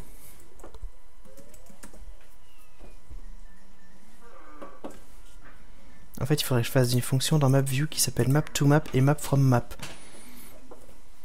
Pour rester cohérent. et ça deviendrait un peu compliqué à comprendre.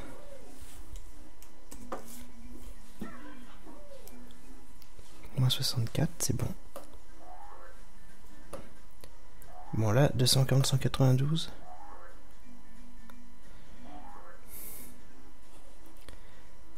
Un peu, c'est pas très... pas très stable. Mais en fait ça reste bon. Ennemi, PNJ, tile, ennemi, sauteur, escalier, mur. C'est cool ça.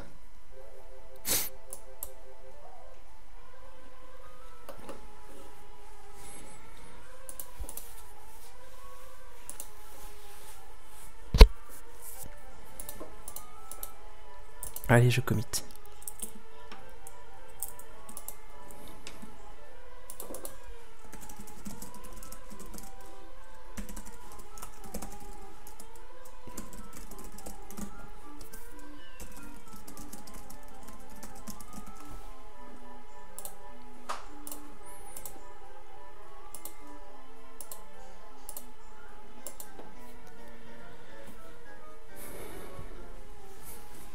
d'union entre les coordonnées et le nom d'entité.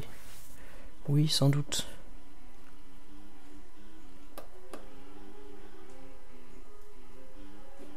Et d'ailleurs, le nom, il marche encore bien. Ouais.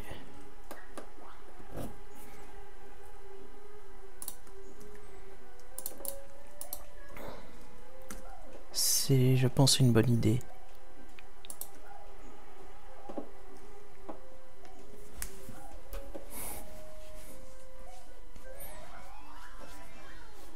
Peut faire sinon de... Est-ce qu'on peut faire des séparations en plusieurs mm, sections du status bar? Pas l'impression.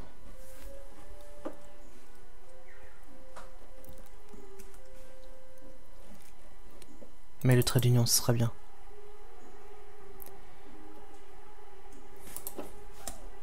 Donc, on va mettre le trait d'union seulement si les deux...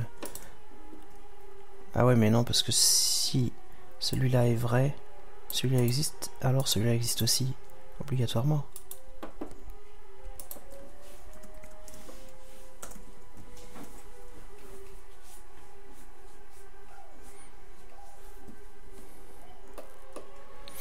Ça marche pas. Ah.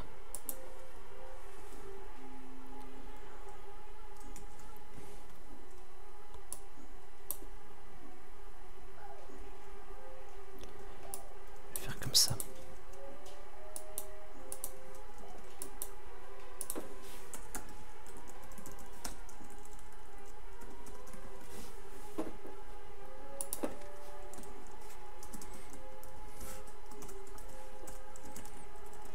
Peut-être quand même faire un TR là parce qu'on sait jamais ce qu'on va vouloir faire dans d'autres langues. Pour 101.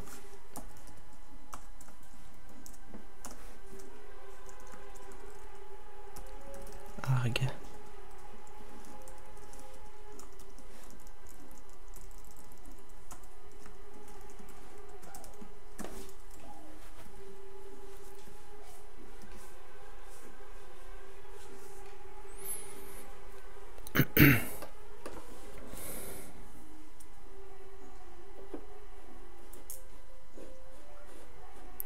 Il reste affiché avec tile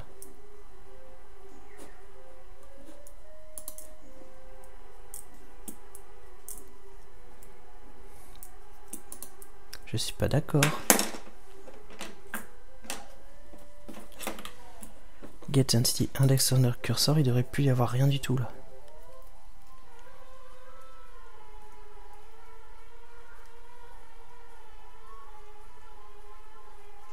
item at map from global.